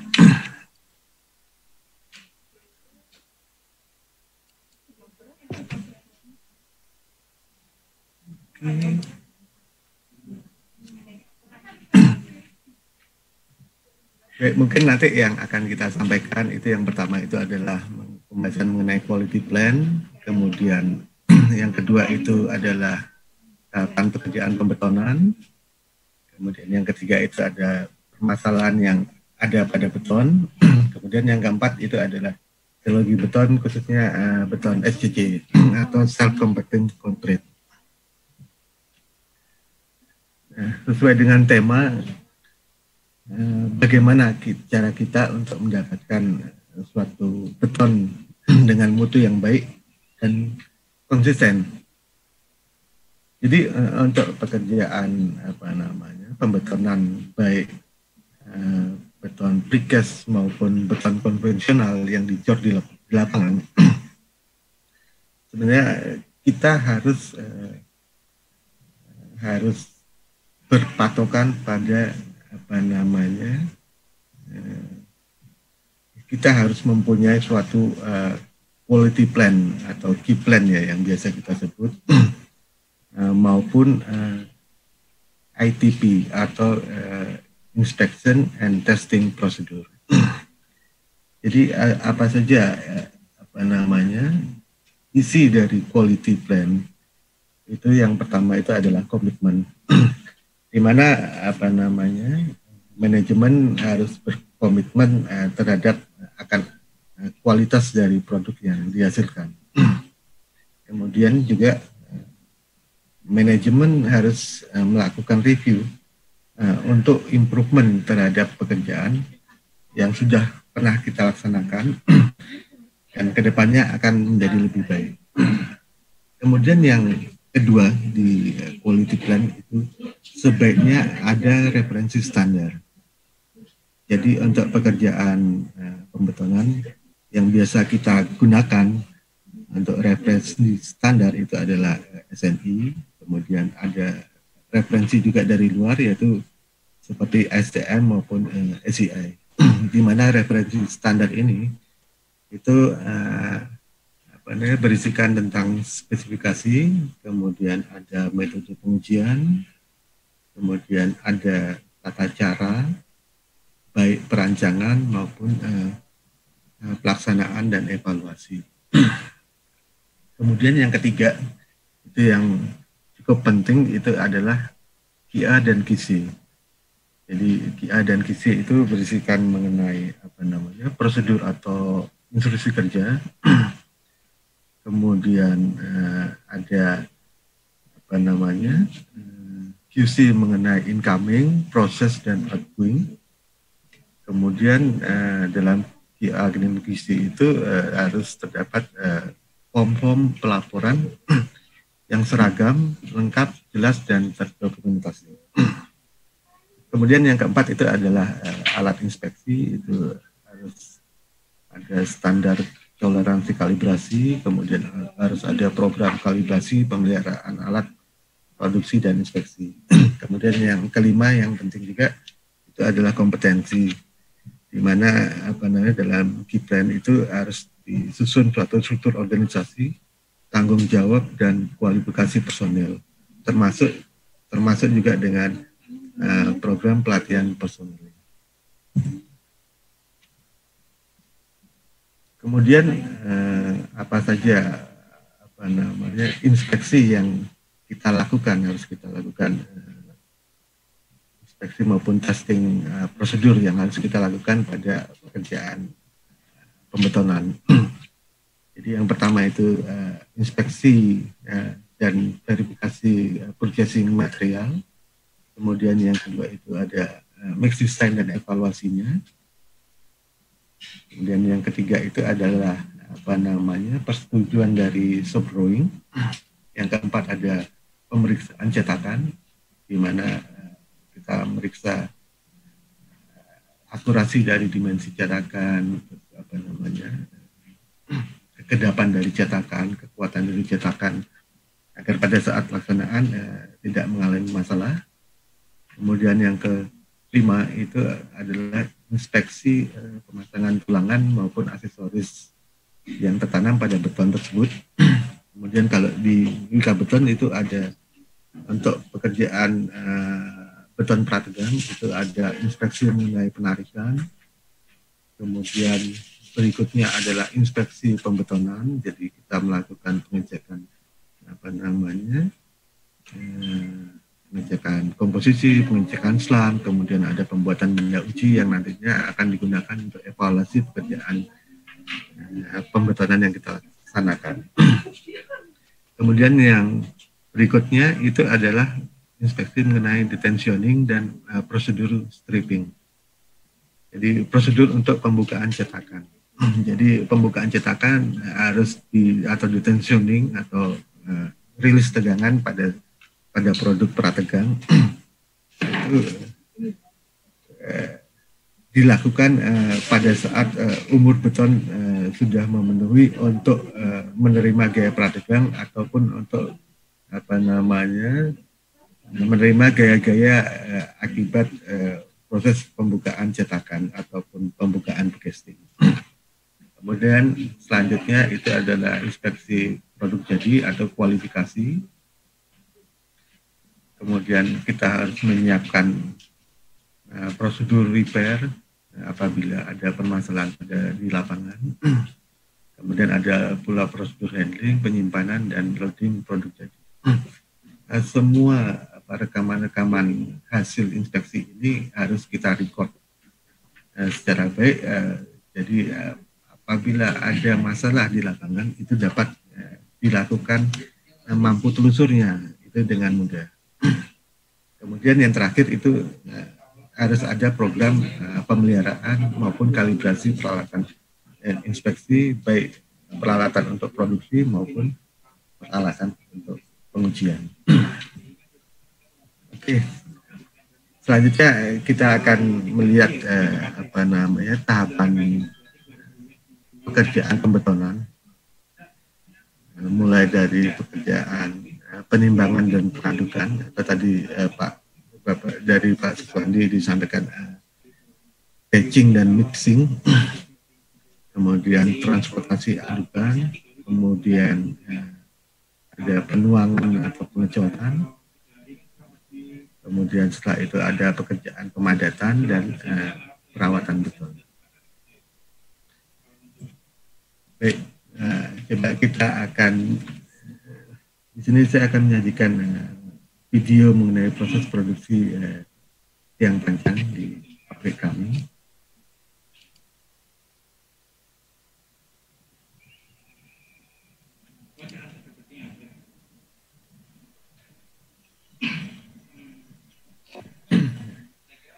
Jadi eh, ini adalah video proses produksi tiang panjang di pabrik eh, apa namanya Lampung Selatan. Di mana di pabrik Lampung Selatan ini eh, mempunyai fasilitas apa namanya eh, dermaga untuk mengirim produk beton ke seluruh Indonesia.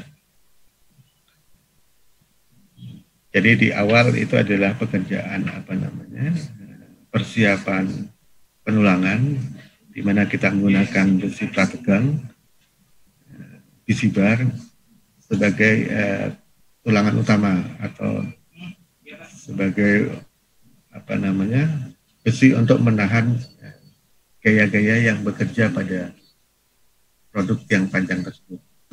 Nah, ini adalah proses packaging. Wire catching adalah uh, perakitan uh, tulangan baik besi prategang maupun uh, apa namanya uh, spiral wire. Nah ini uh, adalah persiapan uh, pemasangan perakitan beton, eh, perakitan besi tulangan di cetakan. Sebelum perakitan uh, cetakan itu harus wajib untuk di apa namanya dilapisi oleh uh, minyak cetak.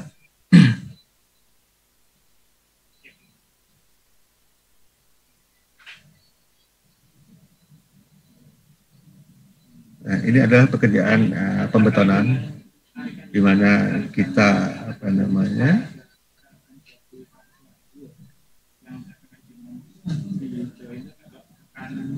di mana kita melakukan apa namanya proses uh, mixing dan batching. mixing itu adalah ya, batching itu adalah penimbangan, jadi apa namanya material beton sebelum masuk ke dalam mixer itu harus ditimbang dulu uh, beratnya, apakah harus sesuai dengan komposisi rencana. Selain ditimbang juga uh, material beton tersebut terutama uh, agregat itu harus dicek kandungan apa namanya uh, kandungan airnya dengan pengecekan kandungan air kita dapat segera merubah apa namanya komposisi agar kandungan air yang dalam campuran itu sesuai dengan perencanaan. Nah, setelah dilakukan proses eh, mixing, kemudian batching, eh batching dan mixing, kemudian di, dituang ke dalam uh, hopper dan di dicor. Setelah pengecoran, maka cetakan uh, apa namanya uh, produk yang panjang ini uh, ditutup dan kemudian dilakukan pekerjaan stressing. Nah, untuk produksi tiang panjang itu sistem pemadatan yang kita gunakan itu adalah sistem uh, sentrifugal atau menggunakan dengan menggunakan uh, spinning. nah, setelah dilakukan proses spinning, kemudian dilakukan proses curing di dalam bak untuk uh, sebelum dilakukan sebelum apa namanya dilakukan proses detensioning maupun proses uh, demolding. Kenapa kita melakukan curing di dalam bak? Itu intinya untuk mempercepat uh, proses apa namanya pematangan beton. Kalau biasanya kita itu kalau yang kon, beton konvensional untuk uh, mutu sampai dengan 50 persen itu tercapai dalam tiga hari. Sedangkan kalau kita memasukkan produk ke dalam bak, itu proses pematangan beton mencapai minimal 50% dari uh, beton rencana itu bisa tercapai dalam eh, 8 sampai dengan eh, uh, 10 jam. Nah, setelah apa namanya beton produk dikeluarkan apa namanya produk dikirim ke stockyard sampai umur umur beton siap untuk dikirim dan di panjang di lapangan. Mungkin demikian kita lanjutkan. Nah ini sedikit proses uh, pengecoran uh, di lapangan. Jadi kita coba uh, lihat uh, proses untuk pengecoran di lapangan, khususnya Pelkat di proyek uh, tol APP Kerani. Ini proyek yang kita laksanakan di di Makassar.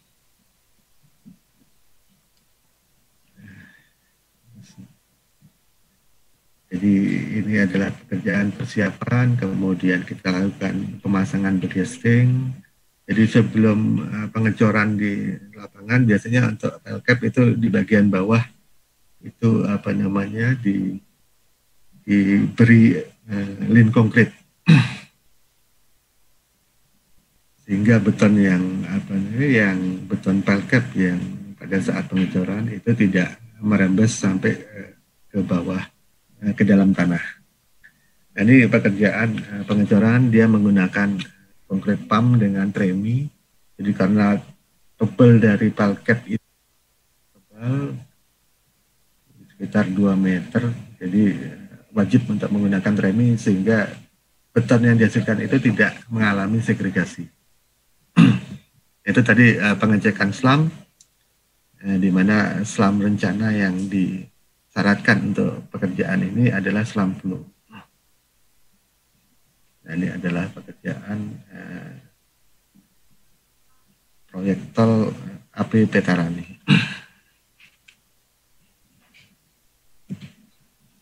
Baik, eh, kita menginjak ke materi, eh, Bapak-Bapak, eh, Bapak Ibu sekalian.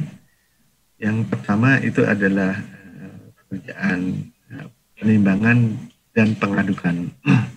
Jadi untuk pekerjaan penimbangan dan pengadukan eh, di untuk produk eh, pracetak maupun eh, untuk beton konvensional dengan skala besar itu biasanya menggunakan alat yang disebut batching plan. Komponen dari batching plan ini terdiri dari yang pertama itu adalah mixer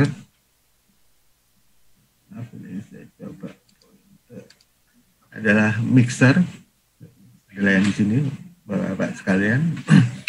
Kemudian yang kedua itu adalah seal semen, ini. Kemudian yang ketiga itu adalah bin material. Yang keempat itu adalah timbangan.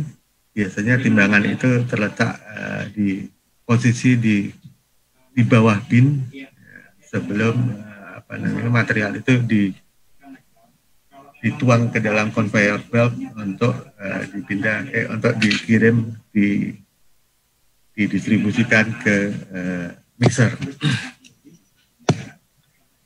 untuk uh, komponen batching untuk batching plan yang baik itu harus ada uh, alat sensor untuk uh, mengontrol uh, namanya uh, kandungan air di dalam agregat sehingga uh, apabila kita sudah mengetahui kandungan air kita bisa langsung uh, apa namanya mengkoreksi uh, apa namanya uh, design yang sudah kita rencanakan.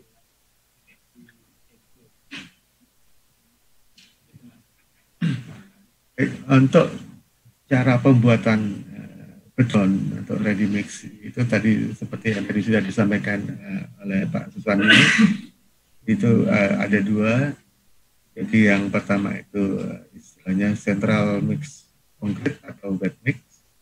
Nah, kemudian yang kedua third mix konkret atau dry mix. Kalau central mix konkret berarti eh, pencampuran beton itu dilakukan di batching plant. Setelah itu eh, adukan beton segar itu dikirim ke lokasi proyek dengan menggunakan truck mixer. Kemudian yang kedua itu truck mix konkret atau dry mix itu artinya batching pen hanya berfungsi menimbang material agregat kasar maupun halus dan semen kemudian dituang ke truck mixer. Nah, nanti di truck mixer itulah yang akan mengaduk mencampur dengan air kemudian diaduk. Otomatis eh, dengan adanya perbedaan ini eh, truk yang yang digunakan eh, otomatis ya pasti akan berbeda. apa namanya gambarannya mungkin bisa kita lewatkan saja. Nah, kemudian yang berikutnya itu adalah tahapan pembuatan adukan itu di batching plant di mana yang pertama itu adalah pekerjaan penimbangan material adukan beton itu yang pertama itu adalah pengukuran kadar air eh, dari material pasir dan sprit. Setelah kita mengukur kadar air, kemudian kita baru bisa mengoreksi eh, komposisi yang kita rencanakan. Kemudian setelah itu timbang dan catat eh, material split. Kemudian yang keempat itu adalah timbang dan catat eh, material pasir kelima itu timbang dan catat uh, material semen, kemudian material edit, aditif ataupun uh, fly dan yang berikutnya adalah volume air dan uh, volume admixture. itu semuanya harus uh, dicatat, ditimbang dan dicatat. Kemudian uh, tahapan pembuatan adukan berikutnya adalah penuangan dan pencampuran material adukan dalam mixer yang pertama yang kita masukkan adalah material pasir dan sprit, kemudian material semen dan cementitious material atau ataupun yang biasa kita sebut uh, uh, PS atau aditif. Kemudian setelah itu material tersebut di hari waktunya tinggal 10 menit ya, ya Pak. 10 menit ya Pak. Okay, ya, yeah, baik. Thank you. Kemudian material itu diaduk selama 10 sampai 20 eh, detik. Setelah itu baru kita tuang eh, air ke dalam mixer. Nah, penuangan air eh, cukup eh, 80 sampai 90 persen. Kemudian kita baru masukkan eh. Setelah itu kita aduk selama eh, dua setengah menit. Cek kelecakannya. Apabila ternyata masih selamnya masih belum tercapai, kita bisa menambahkan uh, air sisa air yang yang yang belum kita masukkan ke dalam mixer. Setelah penambahan sisa air, kemudian kita lanjutkan lagi uh, pengadukan sampai dengan satu menit. Jadi totalnya ya sekitar uh, 3 sampai uh, 4 menit kita aduk di dalam mixer. Untuk penuangan adukan ke dalam bucket itu sesuai dengan SNI maupun SCI itu uh, tinggi jatuh maksimum itu adalah satu setengah meter. apabila tinggi jatuh lebih dari satu setengah meter, maka sebaiknya eh, digunakan eh, talang dengan sudut 45 eh, derajat. Fungsinya apa ini? Jadi eh, untuk mencegah eh, terjadinya segregasi eh, dalam pada adukan. Segregasi itu apa? Segregasi itu pemisahan eh, antara butiran kasar maupun eh, butiran halus dalam agregat. Kita ini sudah diaduk sudah homogen di dalam mixer pada saat kita nuang apabila terjadi eh, segregasi maka eh, beton yang dihasilkan itu eh, akan tidak sempurna makanya disarankan di peraturan itu adalah tinggi jatuh maksimum kita menggunakan maksimum adalah satu setengah apabila tidak tidak lebih dari satu setengah sebaiknya kita gunakan talang ataupun uh, alat lain seperti uh, apa namanya uh, selang premi ya istilahnya itu untuk mencegah terjadinya uh.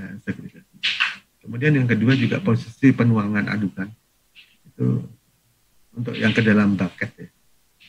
Ini uh, harus di bagian tengah Eh, di bagian tengah bucket, eh, jangan di bagian tepi. Ini fungsinya juga sama seperti yang sebelumnya, itu untuk mencegah adanya segregasi.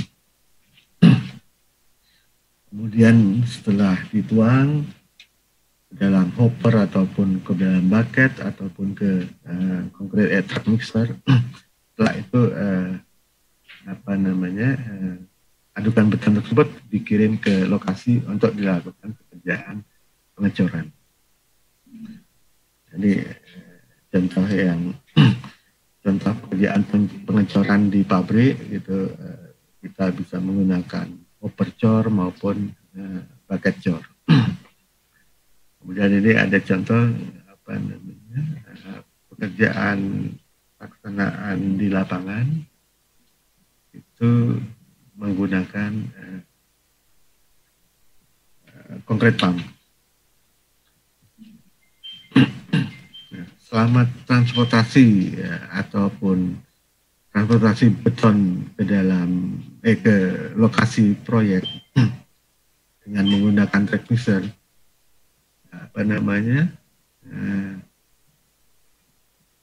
andukan itu eh, tetap eh, apa namanya diputar di dalam track mixer dengan RPS selama selama perjalanan track mixer itu tetap memutar adukan setelah, eh, eh, dengan radi dengan RPM 2 sampai 6 eh, selama perjalanan. Kemudian setelah eh, sampai di lokasi pada saat akan dituang adukan itu kembali harus diputar tapi dengan RPM yang lebih tinggi sekitar eh, 15 RPM selama 2 menit sebelum dilakukan penuangan. Untuk penuangan sendiri arah arah putaran dari mixer itu berlawanan eh, dengan pada saat transportasi. Pada saat transportasi biasanya putaran truk mixer itu adalah berlawanan jarum jam, jangan untuk penuangan. Eh, putaran mixer itu eh, searah dengan jarum jam. Kemudian ini syarat-syarat yang harus diperhatikan pada saat pengecoran itu yang pertama itu adalah cetakan harus dioles dilapisi minyak cetak atau oil, oil foam sebelum pekerjaan pengecoran dimulai. Kemudian beton yang dicor tidak boleh berumur lebih dari satu jam setelah pencampuran jadi dikhawatirkan uh, beton sudah mengalami plastis sehingga harusnya sehingga apa namanya pemadatan tidak bisa optimal.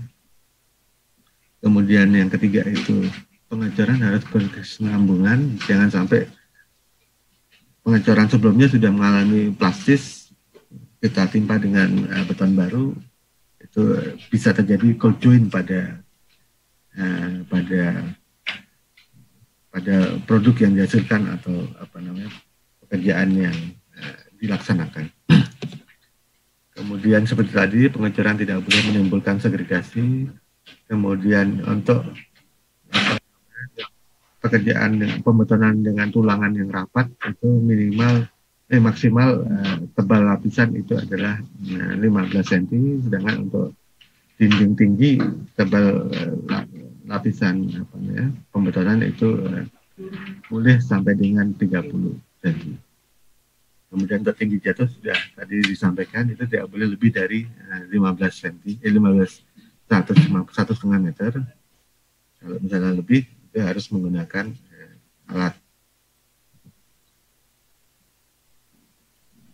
Ini kemudian uh, untuk pekerjaan sambungan beton lama dengan beton baru itu uh, prosesnya prosedurnya itu adalah uh, yang pertama itu beton baru eh, beton lama itu dikasarkan kemudian dibersihkan dan dilapisi uh, macam bonding agent. Baru uh, kita uh, boleh melakukan pengecoran uh, beton baru. Sehingga tidak ada apa namanya antara sambungan beton lama dengan beton baru tidak terjadi shrinkage atau susut atau pemisahan. Nah kemudian setelah itu apa namanya perawatan beton harus dilakukan uh, setelah uh, satu hari setelah pengecoran. Nah, untuk proses pemadatan ini seperti yang untuk beton tercetak seperti tadi sudah saya sampaikan di video.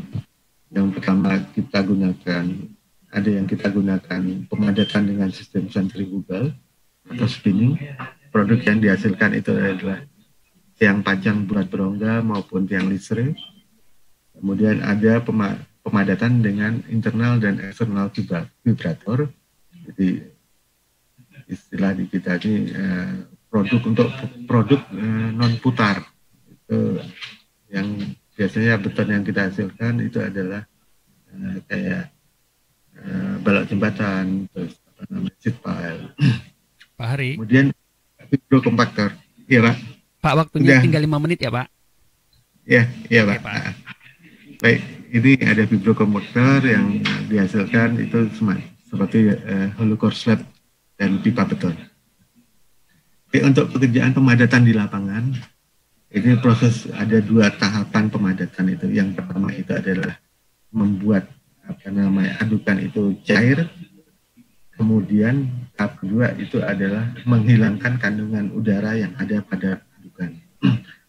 Total kebutuhan pemadatan uh, di lapangan menggunakan internal vibrator itu adalah sekitar 10 sampai eh, 20 detik sekali sekali masuk apa namanya memadatkan kemudian kita harus pindah ke lokasi berikutnya. ini radius dari apa namanya yang disarankan eh, untuk jarak antar pemadatan satu ke berikutnya itu biasanya untuk pekerjaan pengecoran di lapangan itu kita menggunakan diameter apa namanya internal vibrator itu adalah 5 cm dengan RPM eh, 8500 biasanya jarak antar eh, titik pemadatan itu adalah berkisar eh, 20 cm. Oke, ini pekerjaan yang tidak boleh dilakukan pada saat pemadatan seperti apa namanya vibrator kena tulangan khawatirkan dia akan mengganggu beton yang sudah uh, sudah mengalami setting dan sudah padat karena pemadatan eh, apa namanya vibrasi itu akan melambat melewati apa tulangan dikhawatirkan dia mengganggu apa namanya uh, beton yang sudah mengalami setting. Yang berikutnya adalah uh, pemadatan tidak boleh tidak boleh terlalu lama karena akan mengakibatkan uh, bleeding. Kemudian untuk perawatan beton itu eh, wajib dilaksanakan eh, satu hari setelah eh, pekerjaan pengecoran. Nah, pemadatan eh, perawatan beton itu ada banyak cara. Biasanya kalau di produk eh, itu dengan melakukan namanya penyiraman atau water curing. Sedangkan untuk di lapangan umumnya untuk di jalan biasanya menggunakan uh, kuring kompon maupun uh, ditutup uh, karung goni ataupun material kain atau material yang basah perawatan itu sebaiknya dilakukan uh, sampai lebih dari sampai dengan uh, dari satu sampai dengan uh, 14 hari. Nah ini adalah permasalahan yang ada pada beton seperti segregasi. Ini penyebabnya ada cara penanggulangannya ada. Mungkin bisa dibaca kemudian ada bleeding. Ini penyebabnya adalah biasanya sih karena over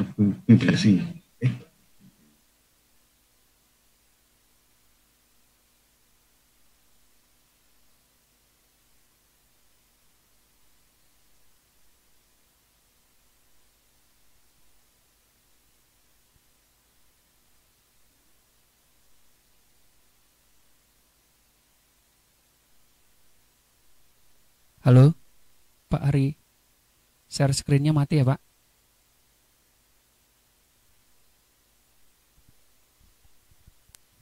Oke. Halo, terdengar Pak Suswandi?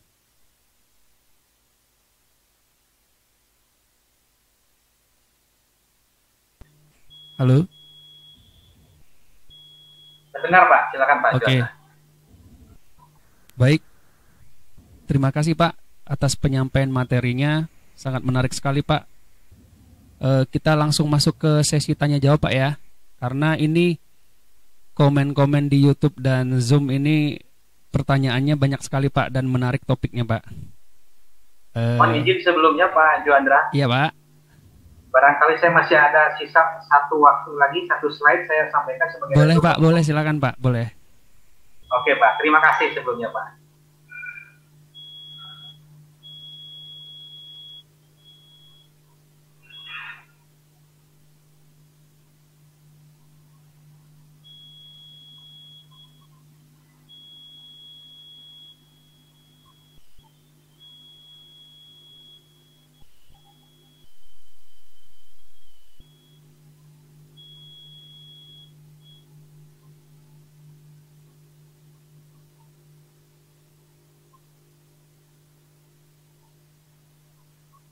Baik Pak, kami sampaikan eh, resume dari apa yang sudah kami paparkan dari satu dua jam satu satu jam setengah sebelumnya ya Pak ya.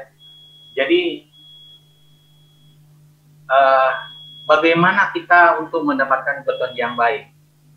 Nah, beton yang baik ini dilihat dari tiga faktor. Lebih gampangnya kita bicara BMW, faktor BMW, apakah dari biaya, itu hubungannya dengan ekonomis, kemudian mutu yaitu kuat tekan, kemudian e, waktu itu hubungannya dengan durabilitas jadi keawetan beton itu sendiri. Nah itulah e, beton yang baik ditinjau dari tiga faktor itu.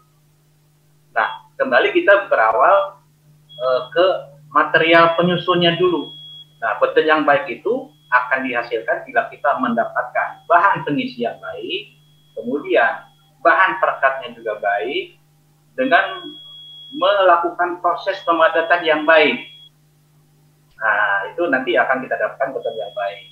Bahan pengisi yang baik misalnya sifat fisik adalah kekerasannya dari faktor kepadatannya, kemudian eh, kandungan senyawa kimianya, itu kandungan anorganiknya juga bagus, kemudian kebersihan material dan yang tidak kalah penting adalah gradasinya Nah, kalau bahan pengisi ini sudah baik, baru kita mengalah ke uh, bahan perekat yang baik. Ini tentukan oleh faktor air semen yang mewakili sebagai nilai kuat tekan betonnya, mutu betonnya.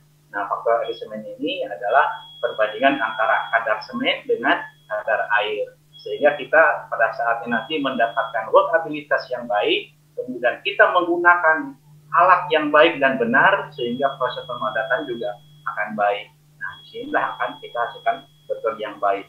Nah sekarang bagaimana kita untuk mendapatkan uh, beton yang ekonomis dengan kuat tekan yang sesuai.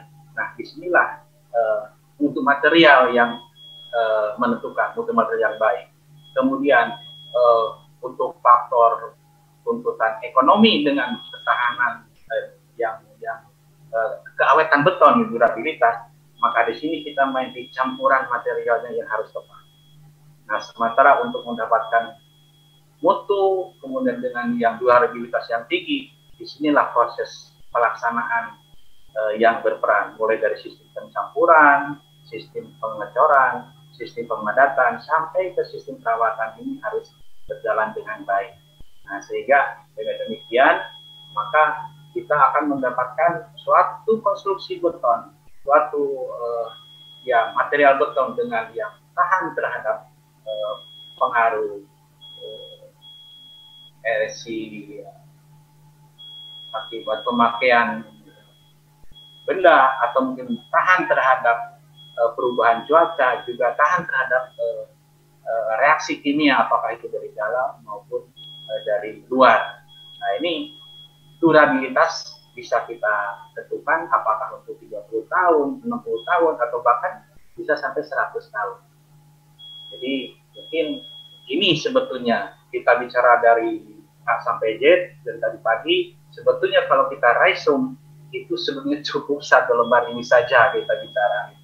Saya kira itu Pak eh, Pak eh, eh Bapak Pak Sandatar yang saya hormati. Kita eh, akhiri eh, presentasi pemaparan kita hari ini. Kurang lebihnya saya mohon maaf. Wassalamualaikum warahmatullahi wabarakatuh. Waalaikumsalam warahmatullahi wabarakatuh Pak. Ya, selanjutnya mungkin kita masuk ke tanya jawab Pak Suswandi. Ini ada beberapa pertanyaan yang masuk. Tapi eh, kami ingatkan lagi bagi peserta semuanya eh, silahkan follow IG Politeknik PU untuk memperoleh informasi webinar selanjutnya karena masih ada 5 series lagi yang akan kita laksanakan selama bulan Agustus. IG-nya adalah Politeknik PU tanpa spasi, Politeknik PU. Kemudian untuk memperoleh recording ataupun mendapatkan akses ke live streaming YouTube kita, silakan di subscribe Politeknik Pekerjaan Umum channel YouTube kita supaya nanti bisa untuk mendapatkan akses ke live streaming dan file recording. Kemudian kami ingatkan sekali lagi untuk mengisi absensi sesuai dengan nama dan alamat email yang benar supaya nanti untuk mendapatkan sertifikat. Baik, Bapak, dan para peserta semuanya, kita langsung kepada sesi tanya jawab. Uh, ini ada sudah banyak sekali Pak pertanyaan pertanyaan-pertanyaan yang masuk ke kita. Di sini ada kita pilih ratingnya yang paling tinggi ataupun yang uh, memiliki kasus-kasus unik yang ada di lapangan. Ini yang pertama Bapak uh, bertanya terkait dengan bagaimana solusi kita ketika saat pemeriksaan karakteristik agregat halus dan agregat kasar ada yang tidak memenuhi standar.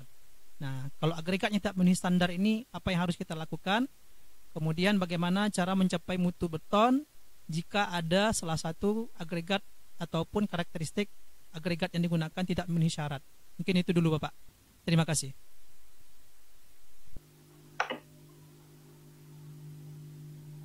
Langsung ya Pak Juandra ya. Ya, langsung saja Bapak. Iya Pak, langsung okay, saja okay. Pak. Terima kasih. Jadi memang uh, pada prinsipnya safe analysis ini akan menentukan nanti uh, apakah ini material cukup memenuhi syarat atau tidak. Memang kadang-kadang kita menuntut untuk masing-masing agregat, katakanlah agregat halus, ini harus masuk. Nah, kemudian agregat besar juga harus masuk itu masing-masing. Memang kalau masuk bagus, sehingga nanti kita mudah untuk proses uh, uh, gabungannya. Tetapi pada saat tertentu, tentunya kita uh, tidak bisa menuntut seperti itu. Untuk masing-masing agregat halus maupun agregat kasar ada yang nggak masuk. Tapi pada saat kita menggabungkan gradasi gabungannya, diharapkan itu bisa masuk di situlah kita bisa bersikap, bisa me, me, mentrik bagaimana rasio S per A-nya itu. Begitu, Pak. Jadi diharapkan pada saat gabungannya itu tetap harus masuk. Berarti kuncinya di agregat gabungan, Pak ya? Betul, betul. Kalau untuk masing-masing nggak masuk nggak masalah, Pak. Tapi pada saat gradasi gabungan itu harus masuk. Baik, Bapak. Terima kasih, Bapak. Selanjutnya silakan Pak Juandra. Kemudian ini Pak ada pertanyaan kedua eh, tentang curing. Curing sebaiknya dilakukan pada saat initial setting atau final setting, Pak. Nah, kemudian untuk penggunaan semen untuk struktur, apa harus semen OPC atau bisa menggunakan PPC atau PCC? Untuk kontrol suhu hidrasi, apakah bisa dengan mempertimbangkan material properties yang ada pada semen itu sendiri? Karena penggunaan bahan tambah semen fly ash atau menggunakan cooling system sering kesulitan jika lokasi project di wilayah yang remote area. Terima kasih Pak. Pertanyaannya banyak sekali ya. Saya jawabnya gimana nih? Oke, uh, yang pertama mengenai apa tadi Pak? Uh, Ini Pak, yang pertama itu tentang curing sebaiknya dilakukan pada saat initial Oh, setting iya. atau final setting, Pak. Ya, oke. Tentunya saat di awal-awal, paling tidak tiga hari di awal. Jadi kalau memang sudah final, kita tidak bisa bicara apa-apa lagi, ya udah final kan gitu. Tapi untuk di awal-awal, betul-betul ini harus dirawat, jangan sampai air yang ada dalam beton itu sampai menguap. Gitu. Oke Pak, untuk selanjutnya ini eh, sebaiknya penggunaan semen struktur, apakah harus semen OPC atau bisa menggunakan PPC atau PPC Pak? Untuk kontrol suhu hidrasi.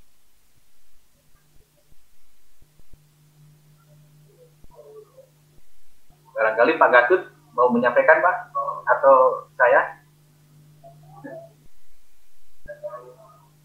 Ya, jadi tentunya di sini adalah eh, tergantung dari ketersediaan material semennya itu sendiri Pak. Kadang-kadang kita mau menggunakan PCC, oh ternyata tidak tersedia.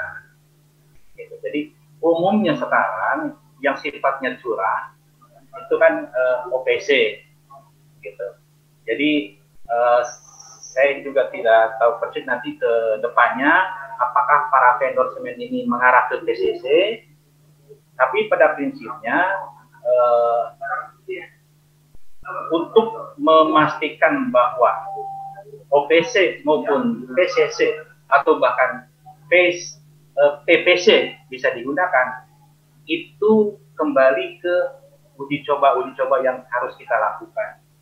Karena belum tentu kita misalkan di eh, pabrik Sumatera wah ternyata bisa dengan PCC belum tentu di Sulawesi juga bisa dengan PCC nah ini kembali lagi ke karakterial eh, karakteristik material alamnya jadi tetap eh, kita eh, berbasis untuk eh, uji coba karena pada prinsipnya eh, PCC PCC itu adalah eh, hasil penggilingan semen plus gipsum dan satu bahan or- anorganik lainnya lagi.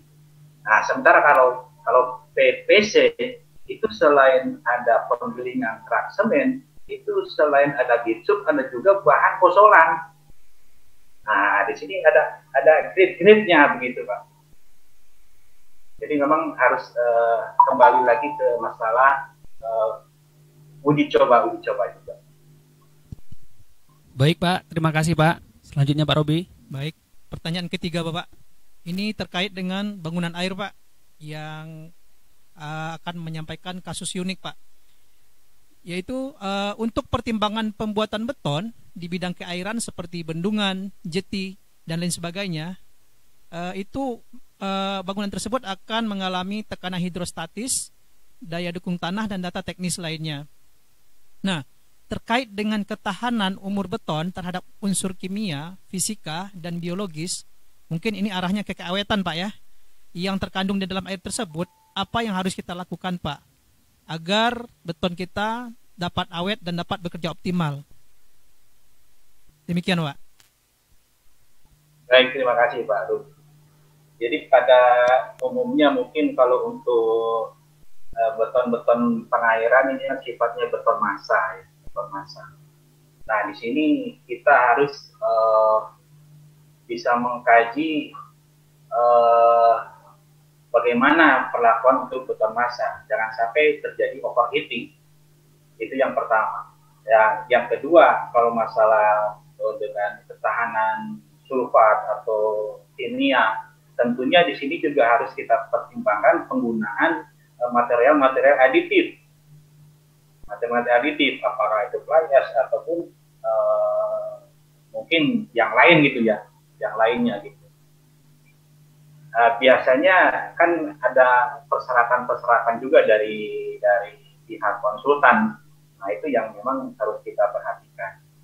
Tapi yang jelas uh, penggunaan aditif untuk pertahanan kimia atau sulfat, kemudian uh, penggunaan aditif juga untuk uh, mengatasi masalah overheating karena beton masa kan memang uh, ya pasti uh, lebih panas seperti biasanya.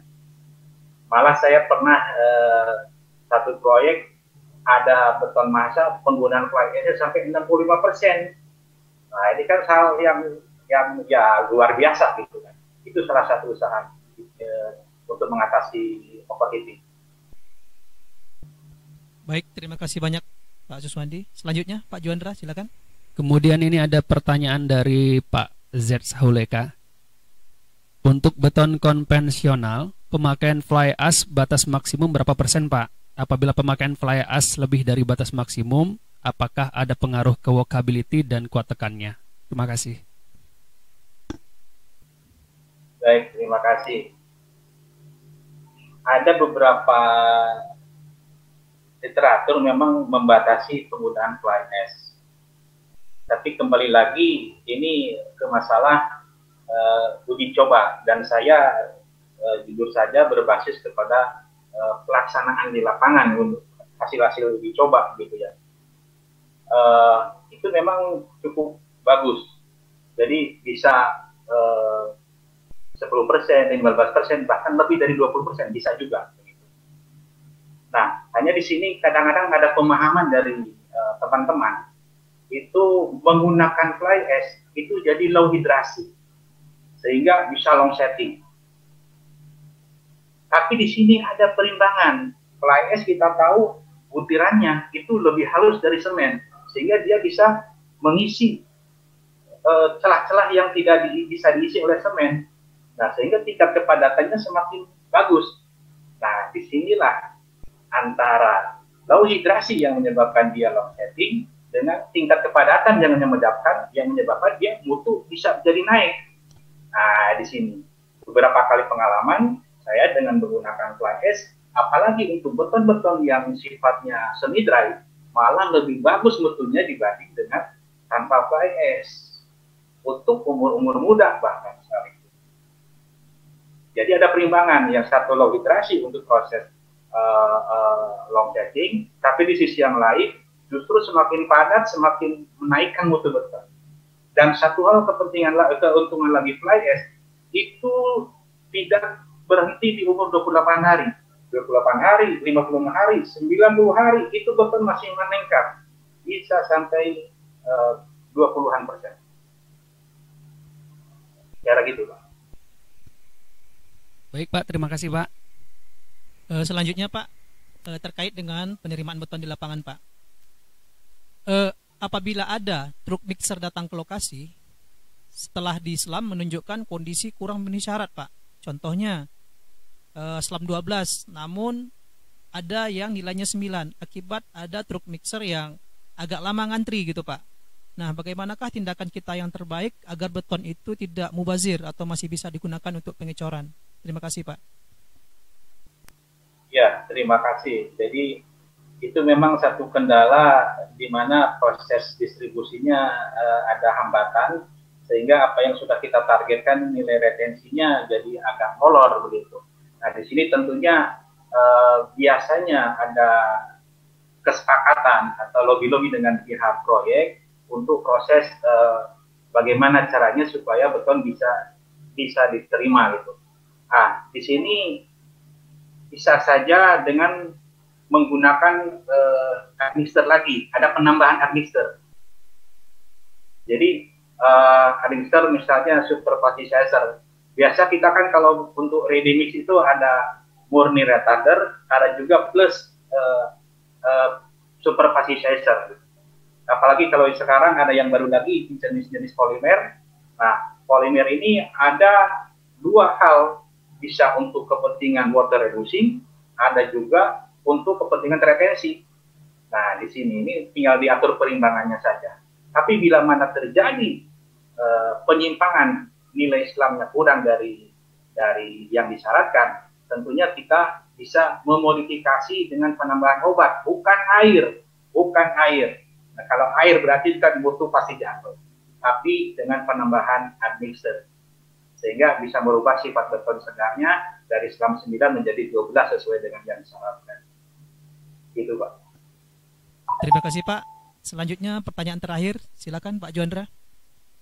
Baik Pak Suswandi, ini mungkin pertanyaan terakhir mengingatkan waktu juga Pak.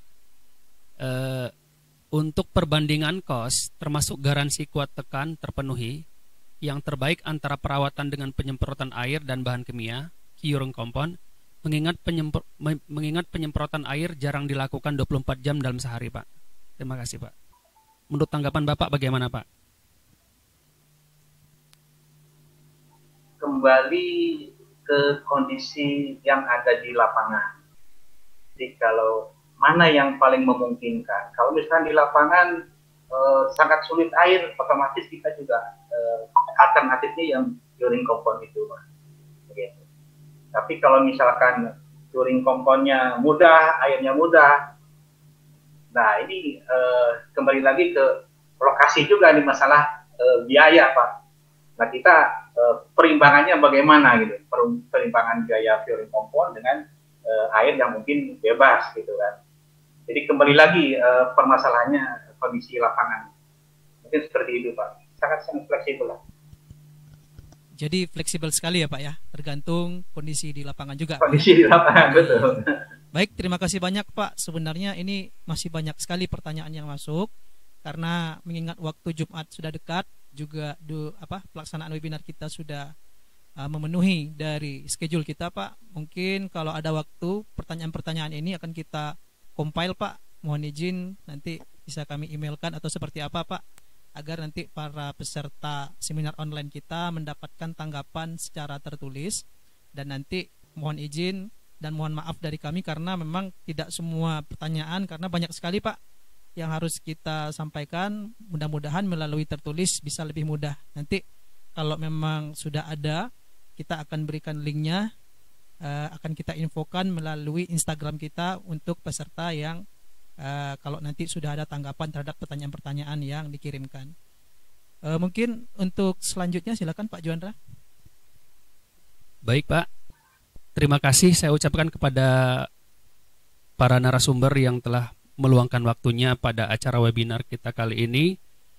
Dan juga terima kasih saya ucapkan kepada Pak Gatur Santoso selaku manajer Biro Engineer PT Wijaya Karya yang telah meluangkan waktunya untuk memberikan sambutan Pak. E, terima kasih kepada rekan-rekan Sipitas Akademia, dosen, kontraktor, konsultan, adik-adik mahasiswa di tiga University, dan juga adik-adik SMK dan SMU mungkin eh, akan saya tutup Pak dengan quote dari Nelson Mandela Pak